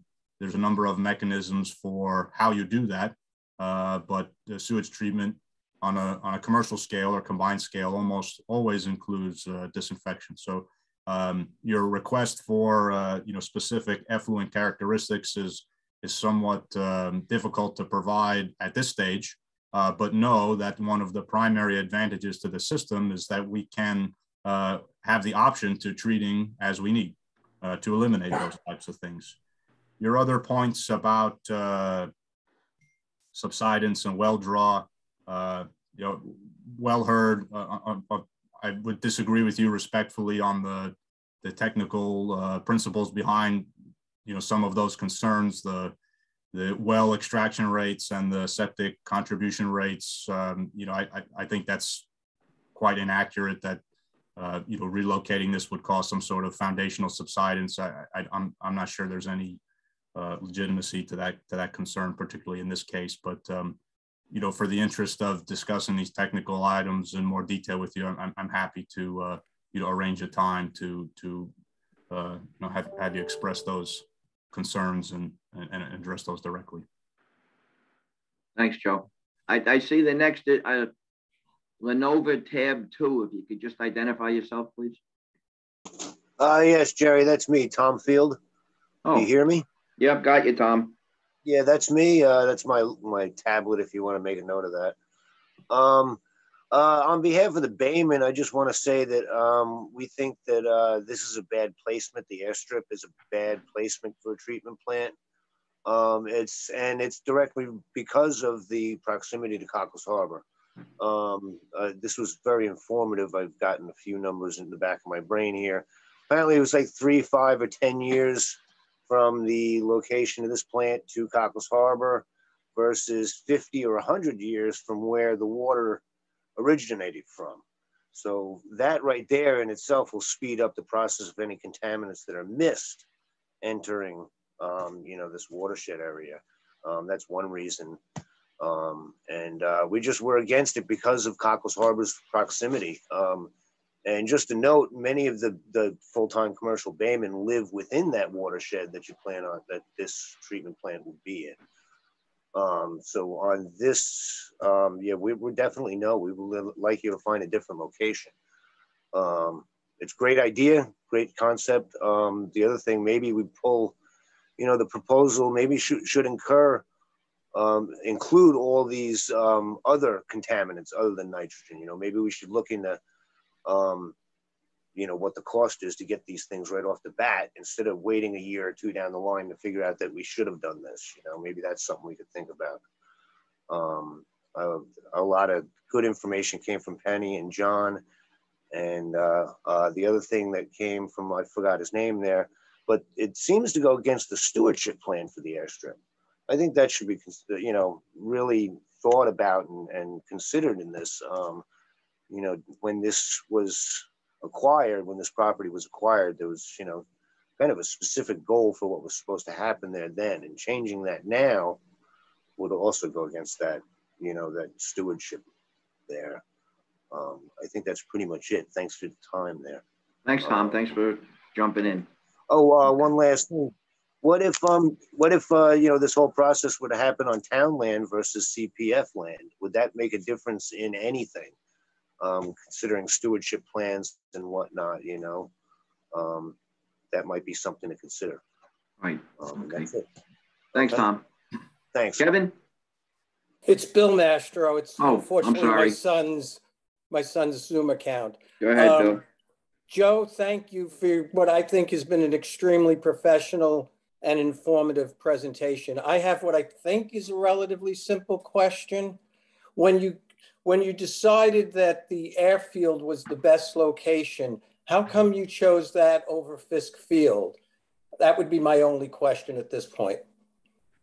Sure. Uh, backing up to one uh, point that, that Tom made uh, with regard to impact on Coecles Harbor, uh, based on the subwatershed plan, uh, which we had brought up on, on screen a little bit earlier, um, we expect that the net uh, impact to Coecles Harbor based on the airfield site would be a, a, net benefit, a net reduction in nitrogen contribution, seeing as the majority of our untreated contributions now in the center do go to Coecles Harbor currently. So uh, when considering that we're looking at a 90 plus percent reduction of nitrogen when when locating at the airfield or in any of these circumstances. You have 90% reduction in nitrogen wherever we site it. Seeing as it's going to be in the same watershed, uh, we would expect that the overall nitrogen contribution by this project, implementing this project, uh, would would be significant to Coecles Harbor. So in that respect, uh, whether you site it at the center or you site it at the airfield, uh, overall nitrogen contribution from the center municipal buildings to Coecles. Harbor will decrease. Uh, so in case there was any concern about that. And, and with regard to nitrogen contribution in totality to Coecles Harbor, you know, the, the impacts of surface applied uh, fertilizers and such from the Ram Islands alone uh, pale uh, the impact of the you know any any subsurface you know recharge component for, for nitrogen as it as it pertains to, to Coecles Harbor. So I think that's an important point to drive home because you know that's that's an obvious concern is uh, we're, we're locating this closer to Coecles Harbor, but you know we have to have an understanding of what how that how that matches in terms of scale and impact of nitrogen and phosphorus loading. Uh, and then and then back to the current question um, about um, I'm sorry, one more time for me. Oh, uh, oh, Fiske basically, Field, right. Fiske Field compared yeah. to the airfield. And just so I understood what you just said, I also took it that from the perspective of the estuaries, the airfield is better for Coecles Harbor than locating it in the center. Is that correct? Uh, well, I would, I, yes, that's correct. But I would expand that to say the implementation of the project is better for the estuaries, no matter where it is, because we are not creating any additional waste flows. We are treating to a higher level existing waste flows. So there's no matter where you cite this particular project, you're already reducing the nitrogen, you know, phosphorus contributions. Uh, so whether it's at the airfield or in the center, um, you know, that sort of gets back to the good, better, best approach is, you know, and, and that's the ultimately the answer to your Fiske Field question is that right uh, at, at, Fiske Field, you know, we're still over that center area uh, where where groundwater contributions would linger for a very long time. Fiske Field does offer us quite a bit of space, uh, but mm-hmm. it has the downside of the the environmental aspect there that we're we're prioritizing getting out of that center area uh, into a, um, a, a closer, you know, more, more, swiftly moving area of the watershed, but also uh, the the amount of recreation that happens on Fiske Field. We we wouldn't want to long term have any sort of a hamper on what we do with the with the field arrangements or have any impact to uh, the operational capabilities of the of the field. Um, whereas at the airfield, you know, we would we would essentially have no impact to the current operations. Effectively, you know, remain uh, open space and with the potential to put this uh, treatment underground, you potentially wouldn't even, you wouldn't see anything. It would all be happening subsurface. So at Fiske Field, we, there was a concern that, uh, you know, if you wanted to change the field around or, you know, do something in the future, you'd be bound by uh, how you arrange this plant now. All right, thank you. It sounds Fiske Field could be viable, but I hear why you chose uh, the airfield, but the airfield has the stewardship issues. So Fiske Field could be an alternative, is what I'm taking out of this. Yeah, certainly. There are a number yeah. of alternative sites, uh, and uh, I keep getting back to this good, better, best, and you know that's ultimately for the the town to decide. Um, you know, these are long-term infrastructure projects, so you know we have to really heavily weigh uh, what what will happen in the future, what our needs will be in the future uh, and, and, and that's largely you know why why Fiske Field was uh, deemed to be you know less less suitable. Okay, thanks. It is in fact you know the stewardship program in many ways uh, becomes sort of an an advantage because we know that there will be no change of use to that type of, of parcel. Okay, uh, I, I, Penny, I still want to go first round. Wendy, did you have something you wanted to ask? I saw your hand up before. You're good. Okay. Anybody else that hasn't spoken? Jerry, I think Tom Field has a has a follow up. Yeah, Penny Penny uh, also does. Uh, go ahead, Tom. You go first.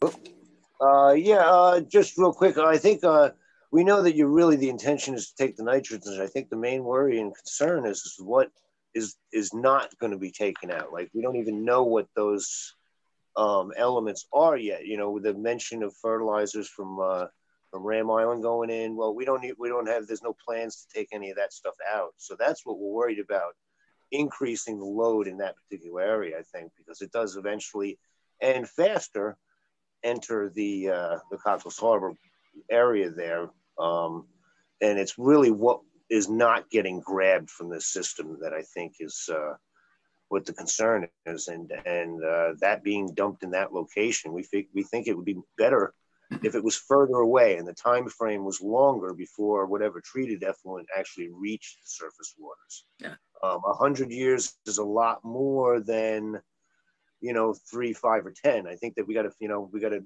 keep this water within the within our uh, the area rather than put it closer to the surface waters. Um, that's pretty much it. Thanks. Okay, I see Eric Clark for the uh, still first round. Eric, good to see you. A long time no see. Steve, um, and, and th thank you everyone first and foremost, and, and Joe and, and, the whole town here for putting a tremendous amount of effort and thought into this. Um, and I really have a kind of a 30,000 foot question and then maybe one, one more in particular, which I think was touched on as well. Um, what, what's been the thought around um, either some mitigation or reverse osmosis to reduce the amount going in um, within the center? Um, and, and, perhaps some kind of subsidy for either residential properties um, or obviously the, the school and town structures to have a system put in that actually reduces the amount um, uh, of of nitrogen going in, um, and it seems like that might even be a more effective and and a quicker time to reduce the actual footprint uh, of the of the issue at hand.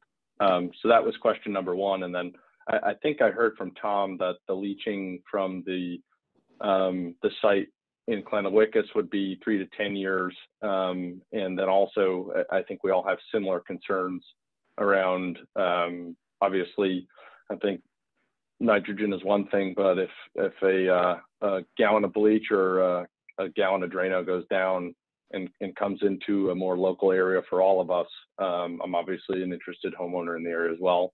Um, how quickly you said kind of biweekly, but how quickly can that be addressed and, and really treated in the in the system as contemplated? Thank you. Joe.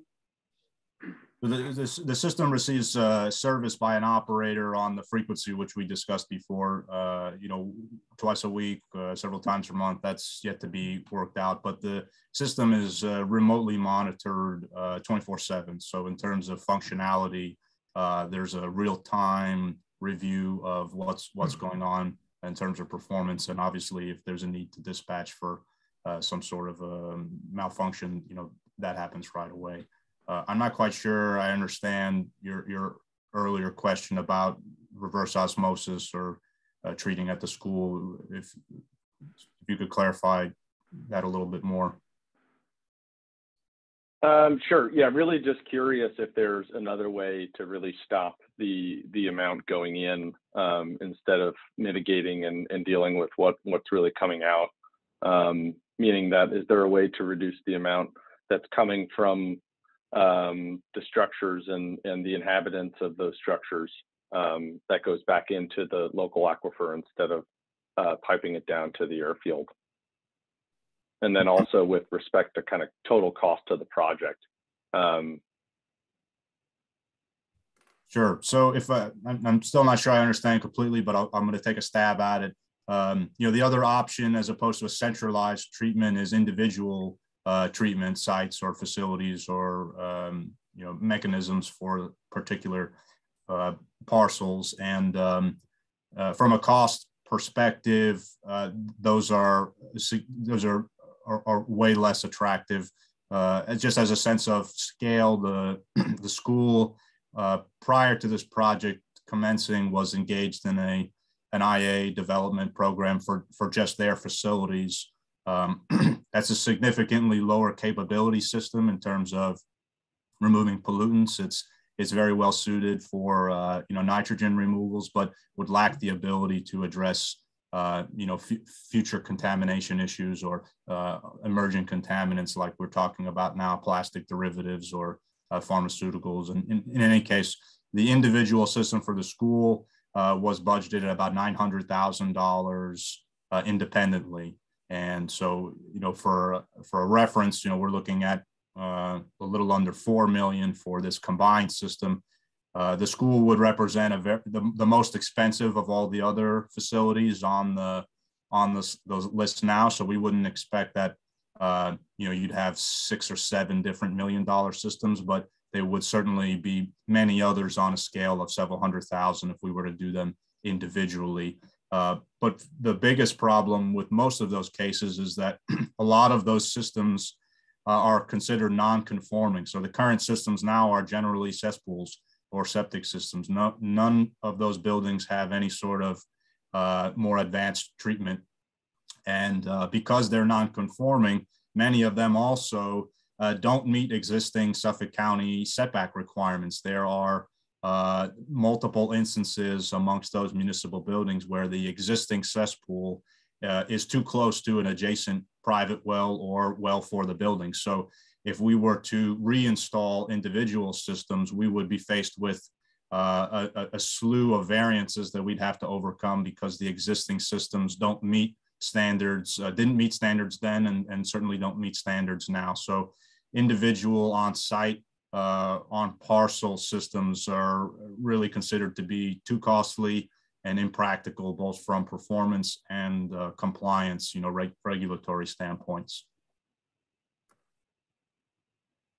Yep, that makes sense. Yeah, and really, I was actually asking. Um, that's super helpful. But with respect to the water that they're drinking at the school and and at some of the residences in center, could the town potentially subsidize a reverse osmosis system for? Oh, certainly. The, the yeah, yeah, certainly. Yeah, yeah. So, yeah. so that you're we're, we're talking about on the other side of the uh, of this of the. Uh, exactly. Yeah. So uh, th that's that's totally. I mean, we've we've already gone down that road. Uh, there are a number of facilities that have treatment on site. Uh, it gets incredibly complicated when you're talking about public uh, and municipal buildings because um, putting in a water treatment system at a school is essentially like creating a small public water system. So they become costly in the sense that you have to meet uh, higher standards than you would for just a residential uh, residential use, and you also have the burden of additional professional oversight to run the system. So paying operators, paying for you know for maintenance, and uh, in many cases uh, it's mandatory. You don't have a choice because the water quality is is so poor.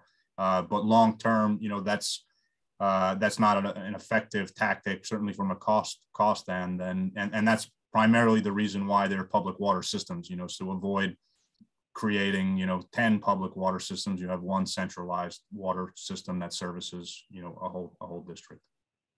Eric as uh yeah, as, as peter grand and uh howard and uh actually and jim colligan mentioned before i mean this is only one piece of of the puzzle to solve the water issues on shelter island. I mean this is you know looking for a long-term fix on the aquifer, but we still have to find something, you know, a quick, quicker fix for, you know, use right now. So it's all, you know, it's it's it's a whole big puzzle, and this is just one piece of it. Yep, understood. Yeah, and that that's it for me, and and greatly appreciate the, the amount of time and effort. Thanks for jumping into it. Into this, I'll I'll yeah. defer to Penny. Yeah, thank you. Thank you. Uh, I see Lisa's iPad. If you could identify yourself, please. Hi, it's Lisa Richland. Um, I live north of the airfield um, and north of Matt's Pond, which is part of that uh, stream of freshwater wetlands that Penny was referring to. Um, can, can somebody tell me what the difference in cost would be to put this treatment facility in Fiske Field? And I'm talking about money costs, not loss of recreational facility for a period of time. Um, it seems to me that putting a, a, pipeline from the center all the way down uh, 114 and Manwaring Road and Burns Road to the airfield would be a pretty costly um, experience. Can, can somebody give me an idea of what the difference in cost would be? Yeah, Lisa, I'll let Joe speak to that. But before that, one, one of the uh, issues and one of the concerns was, and it's something Tommy Field also brought up, was we want to have the ability to uh, expand this system if we have to for treatment. In other words, the school was looking at a pl uh, plan specifically for nitrates. We look if we looked at something in the center here, we can do specifically with the area we have to filtrate the nitrates. But we're looking, you know, down the road. But now there's PFAS in the water. There's pharmaceuticals in the water. So we're looking that and having it in in a further spot and not so much based on cost it, it gives us the long-term ability to uh, potentially filter out uh, known and unknown uh, things in the future. Joe, you want to speak to the? Uh... Nice. The, the, the pipeline cost or the um, that infrastructure to to go to the airfield is about uh, five hundred to seven hundred thousand dollars of the of the project. So so removing that, you'd expect to see about that that much of a reduction in cost. Penny. Yeah, thank you. Um, I, I'm I'm listening to the language that people are using, you know, especially our the the uh, you know uh, Joe and the uh, board, and because I know you're very much for this particular best proposal, and it's like when when you're speaking of the water that you will be bringing into this potential Fiske Field site, you make it sound like it's only you know it's it's it's okay, it's good, it's benign. It's I've heard that it would be an improvement over the water that's actually there uh, which by my estimation, I don't believe that is actually correct. I think that it looked like that was less than 1% or one milligram per gallon of nitrates in that part of the island versus two milligrams. So you actually would be increasing it.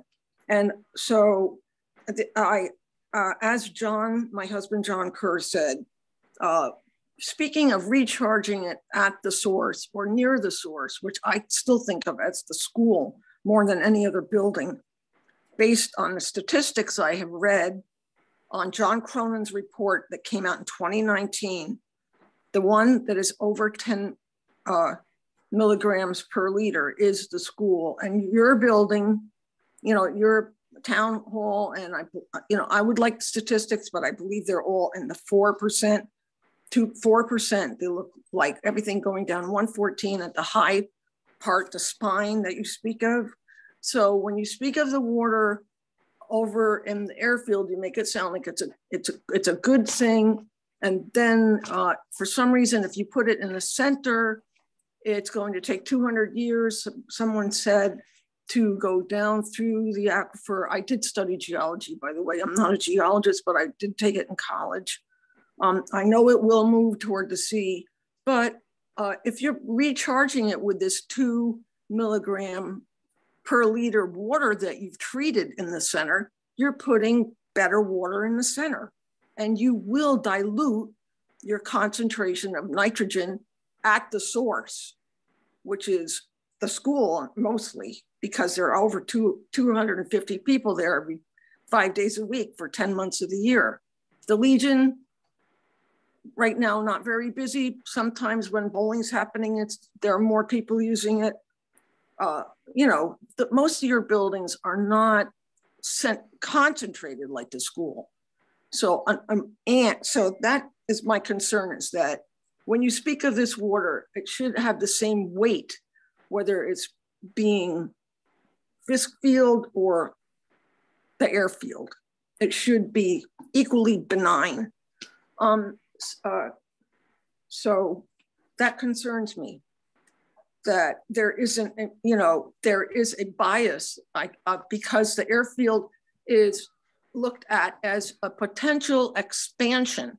And i I was told at the last meeting that I spoke at that when I said that you, Jerry, you told me that you meant that it would get out more contaminants, that it would be expanded to treat more contaminants, possibly. That's how the expansion what happened. But today I heard what a four inch pipe versus a five inch pipe.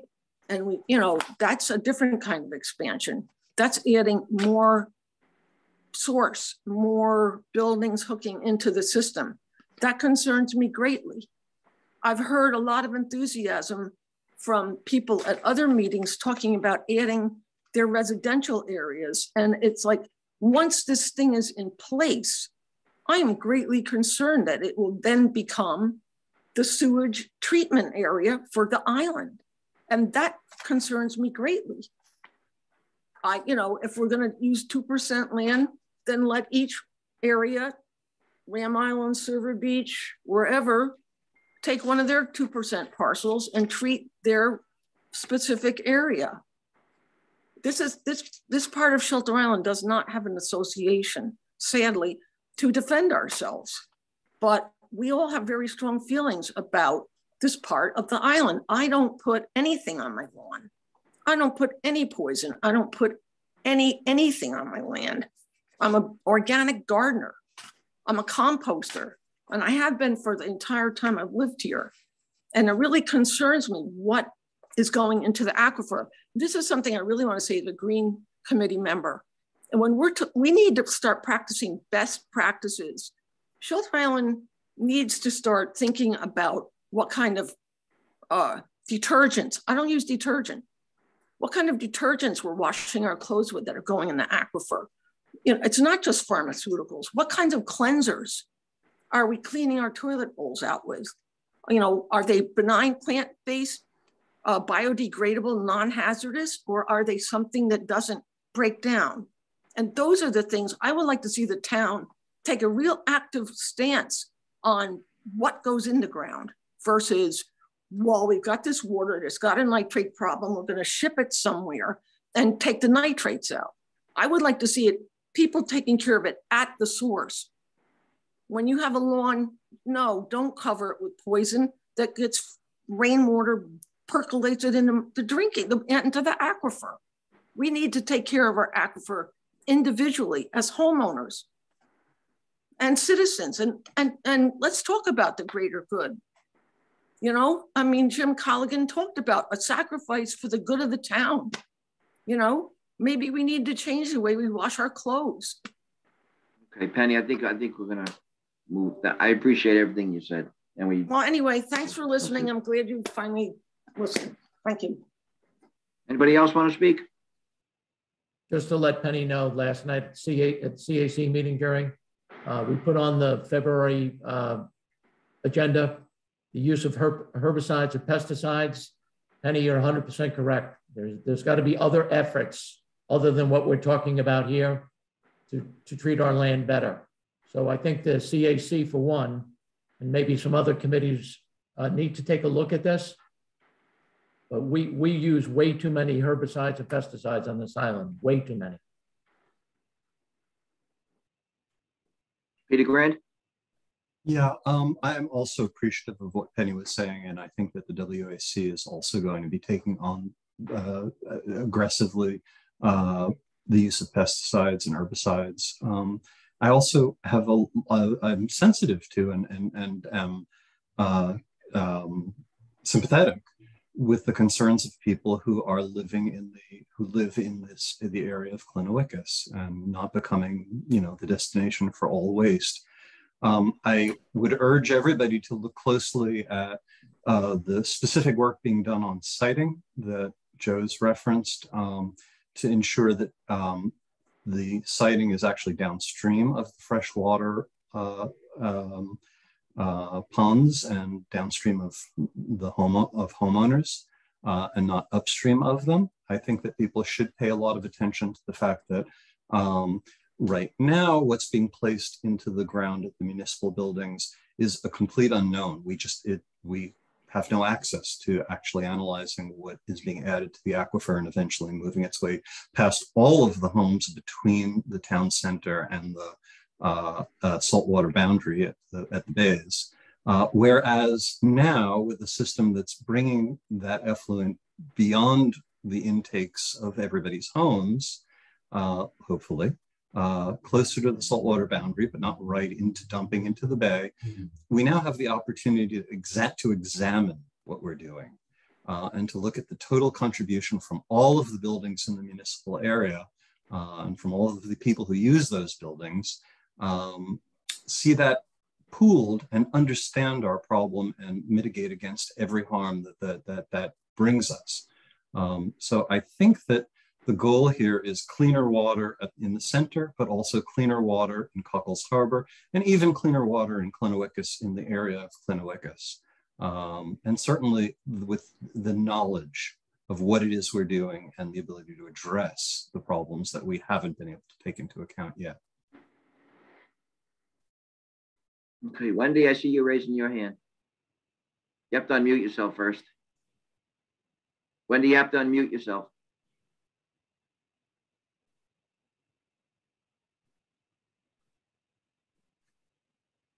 Can you hear me now? Yep. Yeah. Okay. Um, that was beautiful. But I think Peter, who I don't know, just just said. Also, John and Penny Kerr, Kathy and Gordon Gooding, uh, Tom Fields. I, I love hearing the locals. I am a local. I'm Wendy Clark. I'm married to a fisherman. I live on a most beautiful salt marsh, which embraces the most beautiful tiny cove, which is in direct line of the proposed facility. And uh, what Penny said about expansion was my real point. I can see a time where this becomes a facility for the, the whole island. And I'm so concerned about Coecles Harbor because that is what it is, a harbor. It doesn't get washed like, like the outer, outer reaches and beaches of this island. The water that flows in here uh, doesn't stagnate, but boy, it lingers in the salt marshes, and there are many around this island. Uh, and I just think that Coecles Harbor is particularly fragile. So I'm just saying, uh, I won't be around when all this probably leaches into the water, but I hope we have the foresight and I hope we have the moral courage to stick with the people who thought their land was going to be preserved forever in that airfield. And uh, I hope we can find an alternative to that particular spot. That's it. Thanks, Wendy. Thank you. Anybody else? I see Lisa Richland. Okay. So um, where is the money coming from to do this project? Is it all grants or is it coming out of my pocket?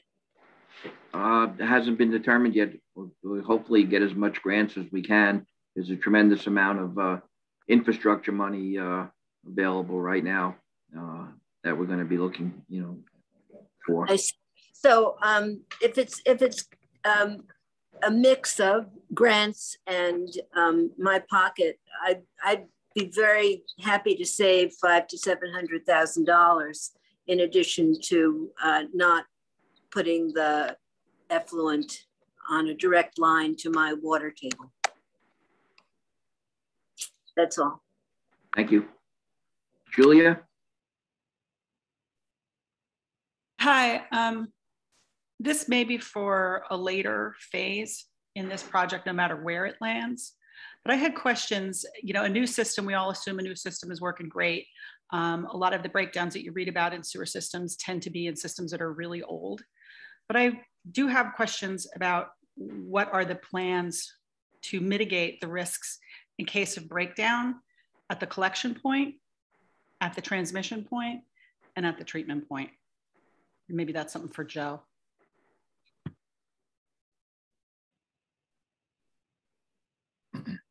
Um, Julia, are, are you meaning uh, in, in the event of um, pump malfunctions or uh, line breaks, or could you be more think, specific? Yeah, so I like um, I understand that, that this is being looked at for what the maximum capacity of these things, these different individual buildings are, which is why the community center ends up with this sort of outsized contributing role. Right. Um, but one of the things about the center is it's also the location that we use for our emergency shelter. If we were to have a hurricane, for instance, there might be quite a bit of demand on those very buildings. Um, I don't think would go beyond what you're anticipating, but there certainly would be a concentration of demand. So in that instance, are these septic tanks that are being created in these new spaces you know, are they designed to a capacity for the maximum capacity so that there won't be backups? Um, what if there's a great deal of saturation during an event like a, a storm into the water around that could cause upheavals in the pipeline? What if it's a winter storm event where there's a great deal of saturation and then there's a freeze that causes an upheaval? It's a very long pipeline. So what are the risk mitigation that goes into that? And also the same at the treatment center. If this is a very large, shallow drain field, if there is one of these major flood events, what are the dimensions? How, how, how do you uh, leave room in that large shallow drain field for those kinds of large flood events that might occur. And again, it might be something that's more a technical thing about the design, but I'm hearing a lot of people concerned about the system running at its best. And I guess the question is what happens 10, 15, 20 years down the road if there's an accident or something occurs that's outside the norm. Mistakes happen. Certainly. Yeah. So uh, like, like most, uh, you know, major infrastructure projects or even, uh, you know, uh, highly engineered systems, they're, they are considered to uh, have functionality as ab absolutely critical. So there's a number of redundancies which are engineered into the system to allow it to function in these adverse conditions, similar to how you mentioned that our flow calculations are for worst case scenarios and don't actually represent what you'd see on a daily basis. That's that's a good example of the type of engineering that goes into uh, preserving functionality so that in that odd event where that crazy day where uh, everybody's in school and there's a gigantic event at the Legion Hall and then everybody leaves and goes over to the town hall, you, you see these unusually high flow rates, you know that the system can uh, incorporate that. And similar types of redundancies are taken throughout the system in the various and the various places, backup power for pumps when needed, um, uh, bypasses when needed, uh, auxiliary treatment when needed. And so uh, overall, the you know the the view towards designing these types of systems is that they have to function all of the time, and you've got to provide the redundancies so that they so that they uh, so that they do. Um, I'm not sure if that answers your question specifically, and there's a number of um, you know technical nuances that go into the design, and, and, and we're not at that phase. But uh, one thing that is advantageous about these types of systems, or one thing that we try to uh, take advantage of, is uh, eliminating moving parts. So any opportunity for gravity to do work for you helps eliminate the need for uh, you know an electrical component or mechanical component, and um, one advantage to the airfield site uh, that hasn't been discussed yet is that it's generally uh, downhill in the path that we selected uh, from the center of town. There's one small uh, increase in elevation that we have for this stage included a low pressure pump for, uh, but there is the possibility that that pump um, is not required. So uh, in those types of considerations are you know are made throughout the design. And um, those are all done with the intention of reducing the the number of variables and ensuring system you know functionality. Thanks very much. And then there was one other thing. I had thought that the school the school site itself was um, kind of ruled out because it was too close to other well locations.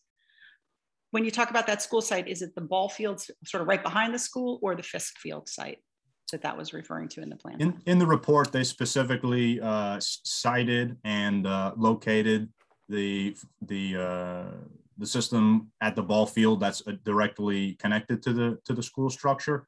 Uh, but Fiske Field was, while it's not included in the in the report, was was you know also discussed um, and and the same for for the same reasons. We're you know we're trying to prioritize uh, not contributing to the to the hyperlocal center watershed, and also uh, not to be space constrained, and also not to have an impact on existing existing function. And so the you know Fiske Field and the school site share those those commonalities.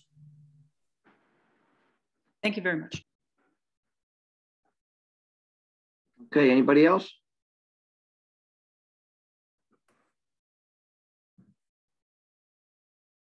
Okay, so this is going to obviously going to be a continued uh, discussion.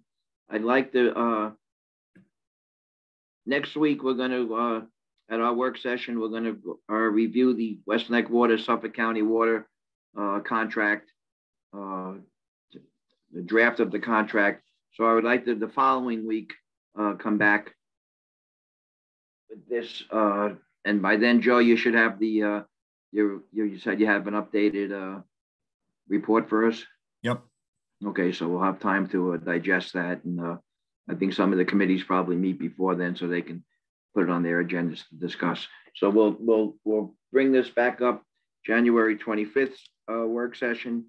Next week, we're going to do West Neck Water uh, in the Suffolk County Water Authority operating contract. Uh, and I think that's it for this right now. And we'll move on to uh, board member reports.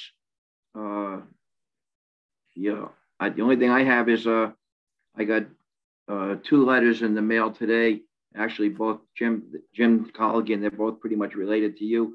One was the uh, PEP management uh, uh, committee is uh, has their uh, annual their quarterly meeting tomorrow, and the other one was uh, Suffolk County Planning Commission would like to get together with us and any committees or staff that we feel uh, necessary to go over uh, a number of items. real quick, I'll just tell you what they what they're thinking. We would like to set up a meeting with your planning department, planning board, ZBA, and as many other applicable town staff to review the Suffolk County Planning Commission's referral process and priorities. The purpose of this meeting is to discuss the referral process and to answer any process or qualitative questions you may have. Uh, we will update you on the various initiatives of the commission and observe the land use trends. Anyone that you feel uh, would be a benefit to the discussion should be included. It's a Zoom meeting and they're offering us uh, January 26th, 28th, or the 31st, uh, all in the afternoon. So if everybody could check their calendars and we'll get in touch with uh, all the committees and, uh, you know, I'll send this out to everybody and anybody that would like to sit in on the Suffolk County Planning Commission's uh, presentation to us, uh, we'll do that. So first thing is we'll have to come up with a date, 26, 28, or 31st. That's a Wednesday, Friday, or Monday. So if everybody can look at that and let me know by next week. And uh, that's all I have. Go around the table. Uh, Amber? Yeah, the only thing I had was just the Suffolk County Water Authority contract that the town board reviewed carefully um, because that will be a, a detailed discussion next week. Okay. We need to keep moving forward on that. Yep. Okay. Uh, Jim? Uh, last night, the CAC met and we uh, discussed two applications, the SAPIN application. He ended up approving it 4-0. Um, there were some concerns uh, expressed with that application. Um, we did have have uh, Matt um, Sherman on the on the line last night, so we were able to you know help with some of these applications and taking a look at them. Um, there was some questions about the, uh, the, the SAPIN application, by the way, is to uh, replace a dangerous a walkway in the back of the house coming down to the beach. Um, it's a very, very steep area. Uh, a lot of engineering involved in that. A very big concern about the, uh, you know, the movement of sand there. Um, was it wasted effort? Um, how do you, it's so steep, how do you, how do you think that you can engineer this to make it last over a long period of time? But um, people are moving forward with it. Committee uh, set some boundaries. Um, the good news is that, that they're looking uh, at other residents that have similar problems and the way they've handled them. So um, there's some construction protocol that needs to be looked at. Uh, these are very, very old steps that you know have become dangerous uh, to continue on. There also was a six-inch pipe that needs to be removed uh, that comes out. Um, nobody knows why it was there, but it needs to be removed as well.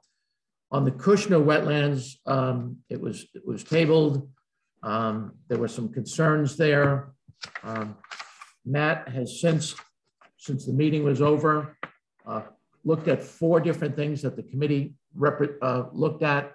Number one, they need to move the driveway with the town board, uh, with town building department approval.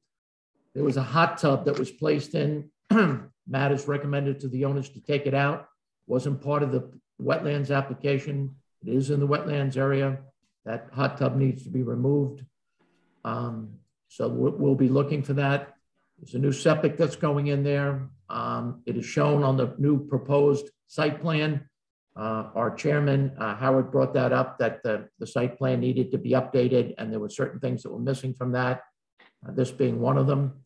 Um, they've added a blower and control panel next to the building and the overhead electrical has been removed and placed underground, which is something, uh, again, uh, one of the things that we did recommend that Matt look at is the vegetation plan, uh, a 15 foot wide non-turf buffer on the northwest corner of the property that will help uh, regenerate or revegetate the, with native uh, plantings. So that was about it. So the, That was all Kushner, that second one? the Kushner was the second one, yes. How So about we- McCarthy? Do we have any, no, we all McCarthy? McCarthy, uh, no, that's something we did not, those were the only two that were on there last night. Because, because I know I got a uh, letter from the architect saying, uh, you know, it was brought to the board in October and they're still waiting. So we have to find out where we stand with that one. I will, I will look when I get home on that one. Okay. Right.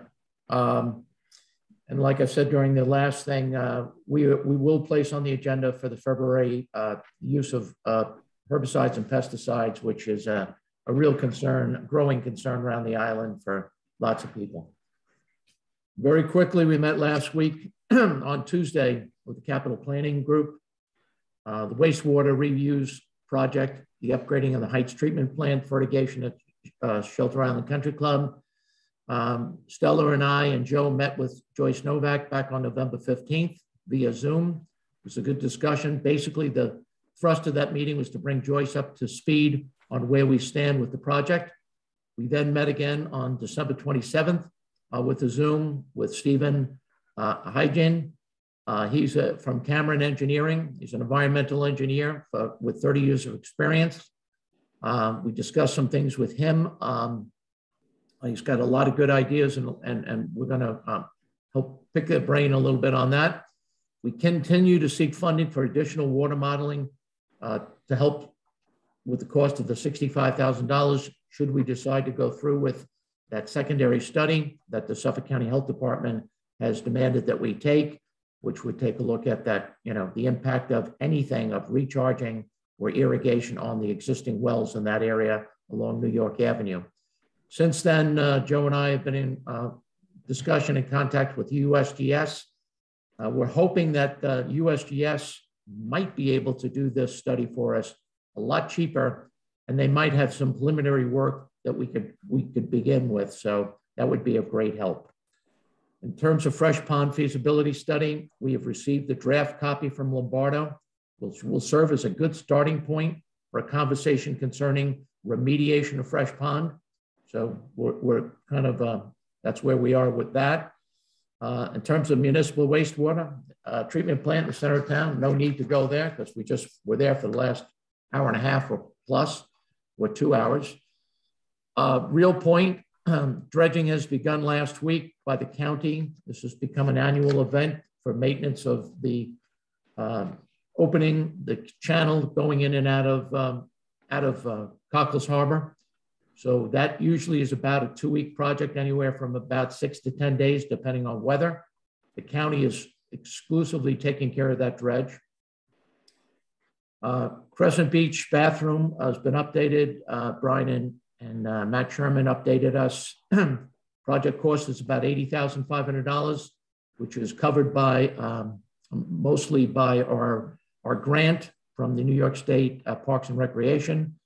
Uh, our target date is still to have the new trailer in place by Memorial Day 2022. Uh, the, we can start on the preparation for the footings and the pavilion well before the arrival of the trailer, which I kind of see as a kind of a March, April timeframe. We're still trying to get um, to meet the MWBE. That's a requirement placed by the, the grant that we received. Uh, it, it affects approximately $34,000 of the original grant of 113,000 It's based on a, a formula for, um, uh, you know, that's, that's required in the grant itself. So we're looking at that. There is a uh, need to remove one of the telephone poles that are down there that we're working on that. Uh, Brian's working on that as well. Uh, the recycling roof, I'm happy to say, is, is pretty much done. If you went there last night at the close of business, new lighting is in there. Uh, the roof is completed. Only thing that has to be done at the recycling center is the final paving, which will occur this spring. Uh, the reason we didn't do a final paving is we wanted to make sure that uh, we wanted to look at the water drainage, wanted to keep it away from the recycling equipment. So um, that you know, we will definitely, we have money in our budget to make sure that that uh, paving will take place sometime in the spring of this year. Hopefully. Jim, Jim, we're also waiting for the gutter installation on that. Oh, yes, that's the other thing we have. The gutter, the gutters have to be installed on that. The nice thing about that on a rainy day, you can actually pull your car in underneath the, for the most part, the overhang and empty your car without getting rained on. And, uh, and obviously it protects the, it protects the equipment that lies below it. So that's, that's important. Communities, uh, Island uh, Community Center across the street, we still are seeking uh, seeking additional estimates of concrete work. And I just want to remind everybody during COVID, getting bids back, uh, totally different process, not, not just getting materials, but getting bids. A very difficult process. Brian is trying very hard to, to, to seek some additional bids to lower the cost on that. But we will make sure that that entranceway is ADA compliant. The front door will be replaced and the overhang itself will be replaced. Um, that's all weather permitted as we move forward in the, in the spring. We've established uh, our major goals for 2022. They are the four, municipal wastewater being number one, the center of town, road elevations number two, particularly the, the where we're looking at is Ram Island Road and the four ferry terminals are high on the list. We continue to make progress there. We, we have begun ADA compliance for some of the town buildings, particularly uh, police headquarters and uh, Justice Hall. So we will will end up uh, hopefully within the next five to six months with an ADA plan for all our town major town buildings. Um, then we need to work on how to execute that plan over the course of the next decade or so. And the last one is anything that we can do in terms of supporting the community's housing initiatives. Uh, Jennifer is working with uh, both ferry companies uh, on flood mitigations. And um, as I said, um, work, uh, working on ADA, that was, that was pretty much it. Um, one thing, the last thing I'll end on is um, these CDBC grants, these uh, community development block grants, you know, that we've been getting for 10, 15,000, 14,000 We're thinking much bigger. The pot of money that our neighboring communities get run into uh, several hundred thousand dollars. This is a great way to help us in terms of ADA compliance. Obviously, we're not prepared to build a new police station or, or, or new justice hall. So uh, we'll be looking to increase that amount of money that we look through the block grants. And, and our goal is to seek anywhere from two to $300,000 worth of funding to help uh, make that happen for those buildings. As, as I just want to remind everybody that the town did get some grant monies and, and, and put some money in our operational budget for both of those buildings. Now we're pretty, pretty much upgraded. Uh, you know, new windows, new brick pointing, uh, stopped a lot of the leaks, um, some, some upgrades inside the buildings themselves. So uh, we continue to make progress with our infrastructure. Um, and, uh, you know, within a matter of the next, you know, I would say by summer, our, uh, our full plan for, uh, uh, that we're going to have for our multi-year capital plan will be updated and everybody, the community will be able to see that. Obviously, once you come up with a multi-year capital plan, it's pretty extensive and it needs to be implemented over a period of time. So, you know, that's that's something that that that plan will call for. You know, what are we going to do in the next year in 2023? What are we going to do in that three-year period between 23 and 26? How do we look from that five to 10-year plan? So it's going to be very methodical and we're going to prioritize what needs to be done. Thank you very much. Thanks, Jim. BJ? CPF meeting uh, Okay. yesterday, was just yesterday? Feels like forever. Um, the it, it- really good discussion about maintenance, ongoing sort of monitoring of invasives. And one really interesting idea was thrown out there that any property owners that are that are adjacent to um, CPF lands might want to take a proprietary sort of interest in helping to maintain them and keep them clear of invasives. I just think it's an it's an intriguing and neat idea. Um, also, Gordon is going to seek to have the, to reconstitute um, a, a, group that composes all the, the, the, five East End towns and their CPF committees or committee chairs. Um, uh, talking to uh, Fred Thiel about that to, um, to just, I, I think to just, um, you know, uh, brainstorm new ideas and et cetera. Again, I think that sounds just like a great, um, a great idea for these times. And uh, uh, Meg, I think you'll talk about comprehensive plan. Yeah. yeah be, be, Meg, before you start, just uh, to reconstitute the advisory board. What that is, that's the five East End towns. Uh, each have a representative on it. And when any of the towns have a question pertaining to CPF uh, lands, uh, that group gets together and, and makes an opinion. Fred mm-hmm. had said that, uh, you know, because of COVID, it kind of, you know, went by the wayside for a while, but he's in the, I guess I couldn't said he's in the process of uh, getting that up and yeah. running again. Yeah. Okay. Meg? So we had um, our comprehensive plan reboot meeting last night, and we met with the members of the advisory committee. Um, everybody volunteered to come back, which was great. So um, we had our first intro meeting, pretty much talked about our ideas for moving forward. Um, BJ and I developed a plan that really uses the 94 plan as the backbone for our new plan and builds upon the 94 plan, taking into account um, the work done in 2008 and the work we've already done so far. So trying to merge all three of these plans and concepts um, and you know really taking what we have and because the 94 is our current working comprehensive plan and building on it and realizing um, where we were where we have been and where we want to go. And i think having that foundation of where we've been is really good for um, kind of creating where we need to go. So i think um, the group was very optimistic that we could accomplish that. And we kind of came to the conclusion that um, if we got to a point where we felt like we needed consultants, we would reach out to the consultants that would be the most appropriate for whatever that topic or that issue were, was. Um, but we'd want to try to take like a good old college try at doing it ourselves first and kind of give um, that way if we do bring on consultants we kind of have it going the direction we want. We have a foundation for them to look at and work from.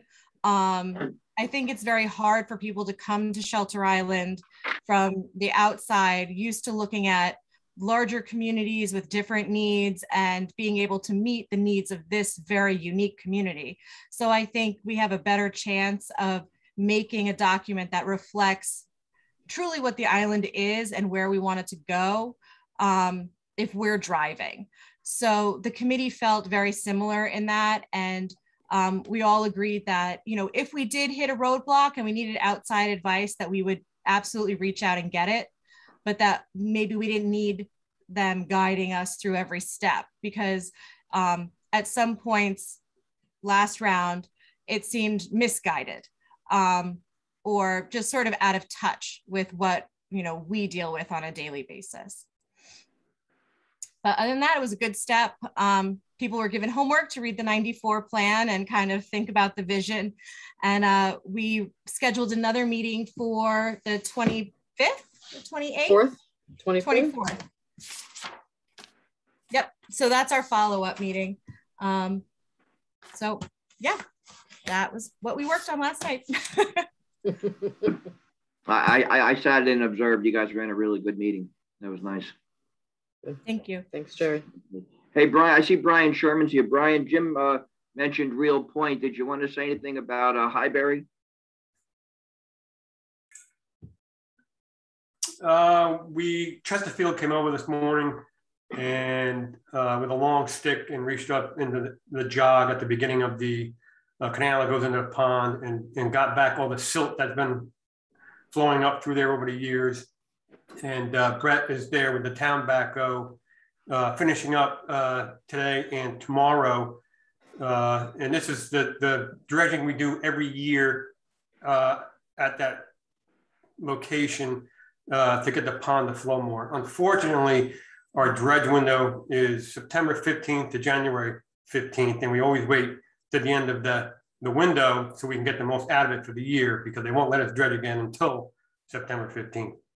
Usually uh, one or two nor'easters will uh, just, just put it back to where, where it is, is which it, it takes it all the way down to the beach where the rocks are to the south or to the west of uh, Highbury Lane. But hopefully now that we opened it up a little bit more, uh, it'll stay a little bit longer. So Brian, when you say you opened it up, you, you kind of cleaned up the uh, the mouth of the actual marsh.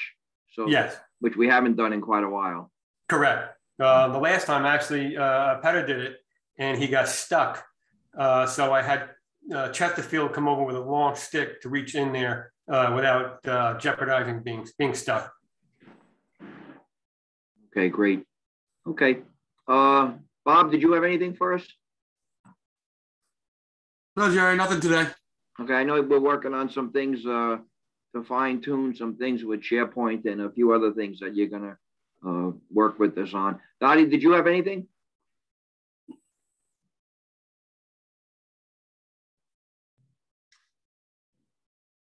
Just to remind you of your special meeting. Right. Okay. We'll do. Uh, we'll open up to the uh, public first, and we have a special meeting to uh, to a resolution establishing the uh, new co community housing uh, committee for uh, the governor's, uh, as per the governor's uh, legislation, and also to appoint two members to it.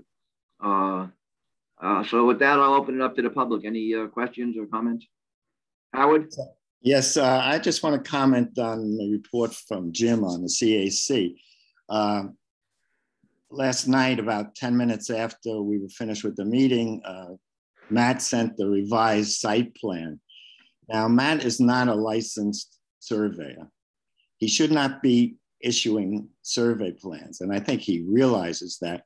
And I think the town has to advise him that the code said it has to be done by a licensed surveyor for, for the wetlands.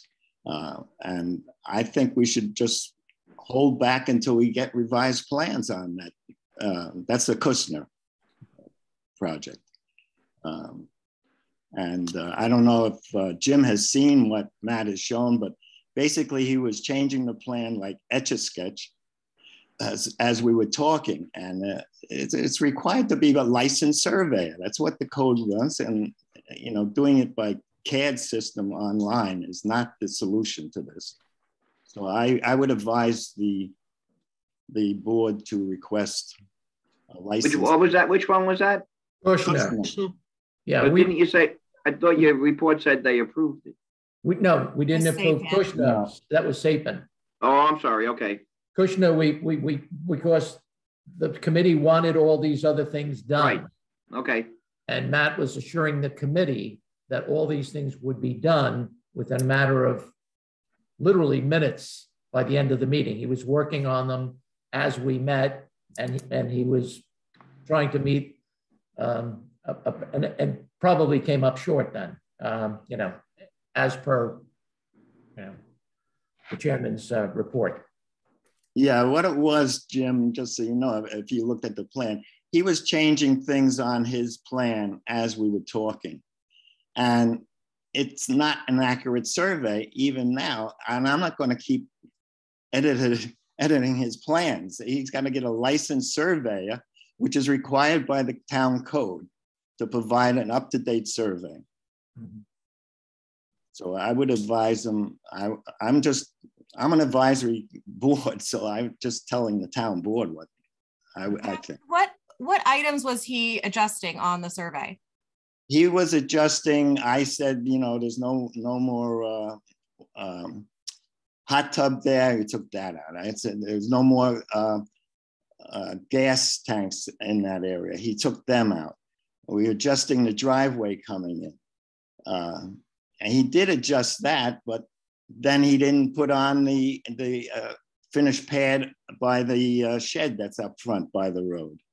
So there's items and the septic system uh, in the report, it's supposed to be like a mitigation to put in a new septic system. And it says we'll await wetlands approval. So if we're gonna approve a wetlands plan, we have to have a licensed surveyor provide the plan. And as far as I know, Matt is a professional engineer. He's not a licensed surveyor. There's a different, big difference between the two. Right, but the surveyor developed the plan that Matt's working off of. All the things that he's adjusting are things that aren't permanent structures, correct? No, he was working off that plan, which was an outdated plan. It was in 21, but they had done much more work on that site than was shown on that plan. So it's a, it's an outdated plan. We have to. I I I I don't know what to tell the time. We'll look at it. Okay, I appreciate that before our next meeting because we could bring it up at the next meeting again. Uh, anybody wants to discuss that, I'll be glad to do that with him. I, I know it's a legal documents that we have here.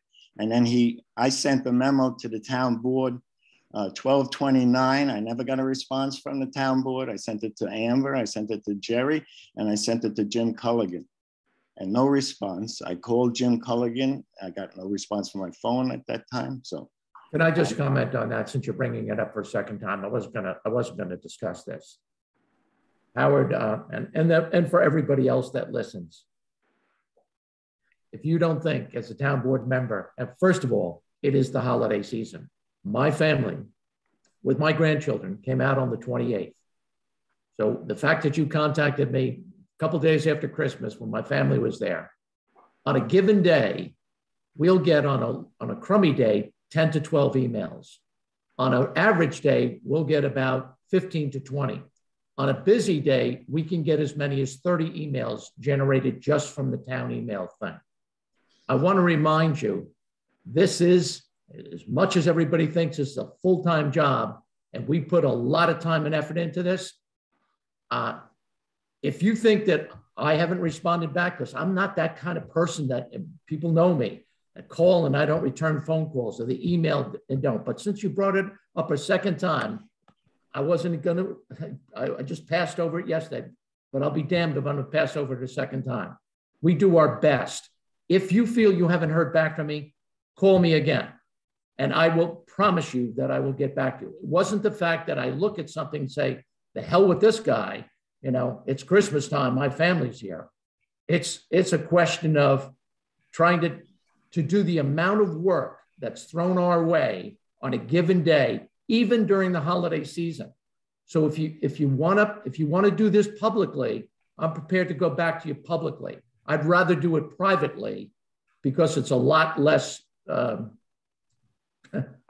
confrontational. That's, that's why I called you that time, Jim. I didn't want to do it publicly but that's well, what happened. Hey, Howard, you do, do, situation. do what okay. you need I, I, I, see Matt Sherman jumped on. Matt, uh, yeah. obviously you're the center of uh, this discussion. You want to do a back and forth on this, but just to give you a real quick uh, synopsis of what occurred on Kushner. We had the uh, survey was done. Um, it was done just over a year ago, the end of 2000, November 2000. Um, we had a DEC letter of non-jurisdiction. The property owner did work that was outside of the wetlands jurisdiction for both the town and the DEC. The licensed surveyor who did the survey in November, that was submitted to the town as part of the wetlands application. So Howard's 100% correct. You need a licensed surveyor to do a site survey. Then, as a licensed design professional, myself or an architect, somebody who's not a surveyor, we can make modifications to that survey base map and submit it under our own stamp on our own title block. I can't change a surveyor's stamp survey. I'm not allowed to do that. But I am allowed to prepare my own site plan, and we do it all the time. We do it with town applications, DEC applications, and health department applications. Now, there was there were some things that were changed from when the original survey was done. Most of them were listed as things to be changed on my site plan, the reconfiguring of the driveway. Uh, that was the biggest one that I think threw Howard off when he was at the site. The, uh, the, the, the, placement of the proposed improvements on site, the swimming pool and the uh, uh, swimming pool equipment and dry well, things along those lines.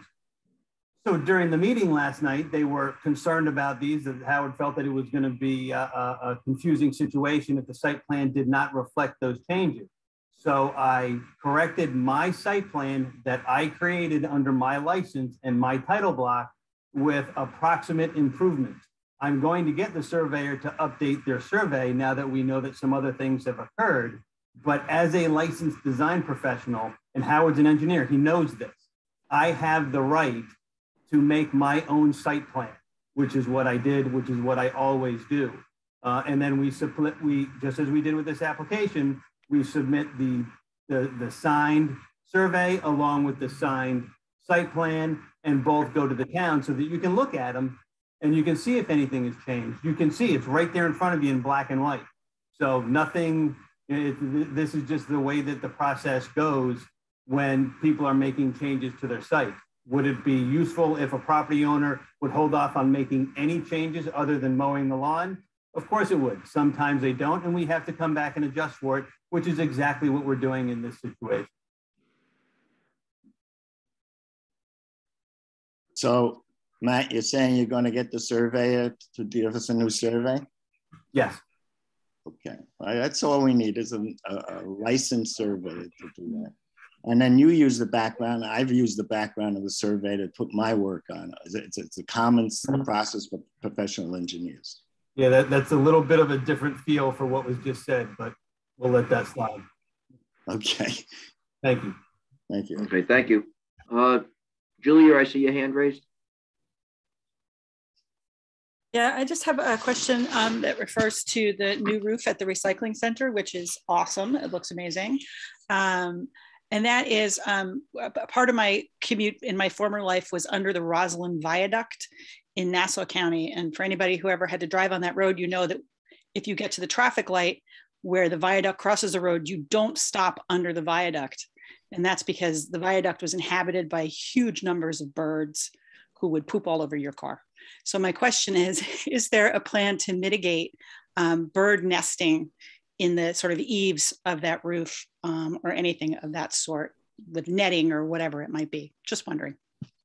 Brian, I'll, I'll leave that to you. I know uh, other than the gutters, we're going to put the ice uh, shields on. How about uh, bird nesting?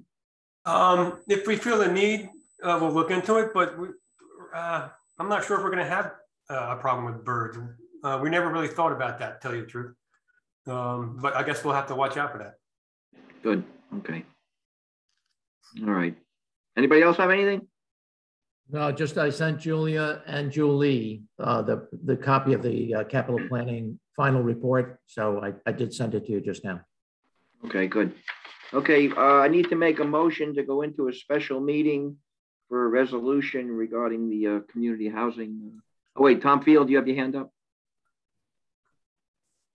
Uh, yeah, Jerry, I had a couple of points I wanted to make from the Bayman to the town board. I don't know whether this is the appropriate meeting to do that or not. Um, should I wait? Tom, I was gonna, I was gonna try to put you on the agenda and get uh, some of the committees there with you. Uh, unless, you know, it's just things you want to, you know, food for thought for that meeting. It's up to you. Yeah, that's really what it was. It was just kind of things that we'd like to see, uh, um, you know, looking at in the in the future, and uh, maybe just give you a heads up of some things. Okay, well, give us a list. Go ahead. Okay. Um, one thing was the shellfish closure. You and I spoke about that ourselves. See if we can get a letter or something to the DEC regarding um, the future of that closure remaining open. Um, right now, it's closed for the season, uh, the year, and it won't open this year. Um, you and I discussed that. Maybe something can be done there. Yep. Um, the uh, it's come up about the definitions that you're uh, proposing. Um, we'd like to see at this point in time that perhaps we can leave chapter 108 out of the proposed definitions there, um, because uh, specifically regarding resident, that doesn't meet the shellfish um, code, so to speak. And we would like to discuss that further when we go back to when you go back into the meeting there with uh, Yep. dis- discussing them. Um, the commercial harvester permit, we'd like to see uh, the discussion start on that. Um, you have some of the paperwork, and if you don't, I have it. Um, what else? Um, it's good to see that the pesticide fertilizer thing is going to finally be discussed. Um, we'd like to be involved in that because we have some very strong points there that we'd like to make. Um, and uh, where else were we? Um, the uh, uh, you mentioned last week that you're going to be addressing chapter 19, which is the mooring chapter. Um, we also believe that perhaps chapter 108, the shellfish ordinance, should also be looked at at the same time or, you know, as well as. Um, and before any of those two chapters are looked at, um, we think that the conflict of interest in the Waterways Committee must be addressed before those are looked at. Um, and we'd also like to see a bayman um, or commercial fisherman with a permanent seat at that waterways table. Um, so th things to consider, obviously. Um, and I have what else is on my quick list. Um, the floating docks, um, that's still a mess, that situation. Uh, maybe we can send a building inspector out and look at what's going on there. Um, they're all over the marsh and, you know, the problem was never really solved. Um, it, it persists. Um, and the last thing I wanted to check on was the Congdon Creek dock, the uh, rebuilding of the bulkhead. Is there a schedule for that? And also the extension. There was talk of an extension to that dock. Is there some sort of uh, timetable when that's going to get done? Or Uh, yeah, we actually we had we had the money and we had it scheduled for last year, Tom, but we had the uh, catastrophic uh, Dawn failure at uh, Dawn Lane. So yeah, Brian, you want to speak to it? That, that, that was understandable. We're just wondering when the when the date was Yeah. pushed forward for that. Brian? So uh, I have the permit for the dock extension. Uh, the DEC kicked back the permit for the, the new bulkhead. Uh, I need to get the, uh, the wetlands flagged and then resubmit. And I'm waiting for uh, end consultants uh, to flag the wetlands and a new surveyor to uh, put that on the survey to resubmit with the DEC for the permit. So Oh, okay, Brian, so any- any ballpark on how long something like that'll take? Uh, I'm supposed to have the wetlands flag within the next two weeks. Um, and hopefully soon after the survey done. Um, and then, uh, to resubmit, because the DEC knows I'm, I'm eager to, to get this permit and get this job on, uh, uh, get it out to bid and get it done. Okay, and just so everybody knows, the extension is uh, for the police boat. It's, it's not, we're not moving the dock, you know, away. We're putting one more uh, slip at the end for the police boat. Okay, thank you. I guess a year out on the bulkhead then, probably with the DEC involved like that, right? No, no. No, no, I don't think so, Tom. Oh, okay. Okay, well, appreciate it. That was pretty much it. Um, like I All said, right, these so are the Tommy, I'm gonna that keep me schedule something for the Bayman in February, and we'll get the WMAC there and uh, invite the other committees also. Okay, thanks, Jerry. All right, thank you. Uh, Thank you, town board. Thanks. Okay. Okay, anybody else? Okay, I'm gonna make a motion. We uh, go into a special meeting uh, regarding community, uh, Dottie? First of all, you need to do a motion with favorable approval to go into a special meeting because we, this is not a scheduled meeting, so you need to do a, okay? Okay, so what Dottie just said, I'll make the motion. Do Have a second? Second. Second. Okay, Councilman Colligan seconds. Councilman Brach-Williams, Aye. Councilman Lawson, Aye. Councilman Ianfolla. Aye. Okay, so moved. Uh, I don't have the resolution. Dottie, do you have it to read? I do. Oh, Amber does. Amber I'm has sorry. it, yeah. Mhm, Yes. Okay. And Jerry, just to correct what you said earlier, um, you said we're going to appoint two members so far, but we're actually going to appoint seven. Um, Oh, yeah, we're good. right, yes. And Mhm. it's, we're appointing to the Community Housing Fund Advisory Committee. And just so that we can get them to start being able to meet, we're not done um, uh, staffing that committee. We have, um, we're going to put, you know, something out to try and draw some more interest and cover the positions that are not, that need to be covered that aren't, but we want to at least get them started. Right, and the criteria was seven to 15 members. Correct. Yes. Okay. And so we need Yep. financing, we need construction, real Mhm. estate, and we have some of those filled in here. Um, but anyways, just Okay, Whereas pursuant to Town Board Resolution Number 81-2022 dated January 7th, 2022, the board established a Community Housing Fund Advisory Committee to consist of at least seven members and no more than 15 members. Now therefore be it resolved that the following persons are hereby appointed to serve as members of said committee for terms of two years each, said terms to expire on January 11th, 2024 as follows. Brand Doherty, Christopher Diorio, Paul Caruccirulo, Peter McCracken, Maria, Maria Magenti, Elizabeth Hanley, and Michael Shatkin. So moved. Supervisor Councilman- Siller seconds and votes aye. Councilman Colligan, Aye. Councilman Lawson, Aye. Councilman Ianfolla, Aye. Okay, so moved. Okay. That was Amber, it, how right, many, Todd? how many does that give us total? That's seven. Uh, we need, uh, that, that, so we made the minimum requirement, but we still have to meet the requirement, Jim, of, uh, Yes. specifically a builder and, uh, Yep. you know, a couple other things. Finance, I think. Like banker kind of thing. Mm -hmm. Yes. Dottie, anything else on your end? Me? No. Okay, all right, I'm gonna make a motion. We go into executive session. We have a couple of uh personnel uh issues we need to discuss. And I would ask uh Joe Fenora, Jim Reed, Reed Karen, Christina, and Brian to stay on. Councilman Colligan seconds and votes aye. Councilman Brach-Williams, Aye. Councilman Lawson, Aye. Councilman Ianfolla. Aye. Okay, so moved. All right, thanks, everybody, for the input today.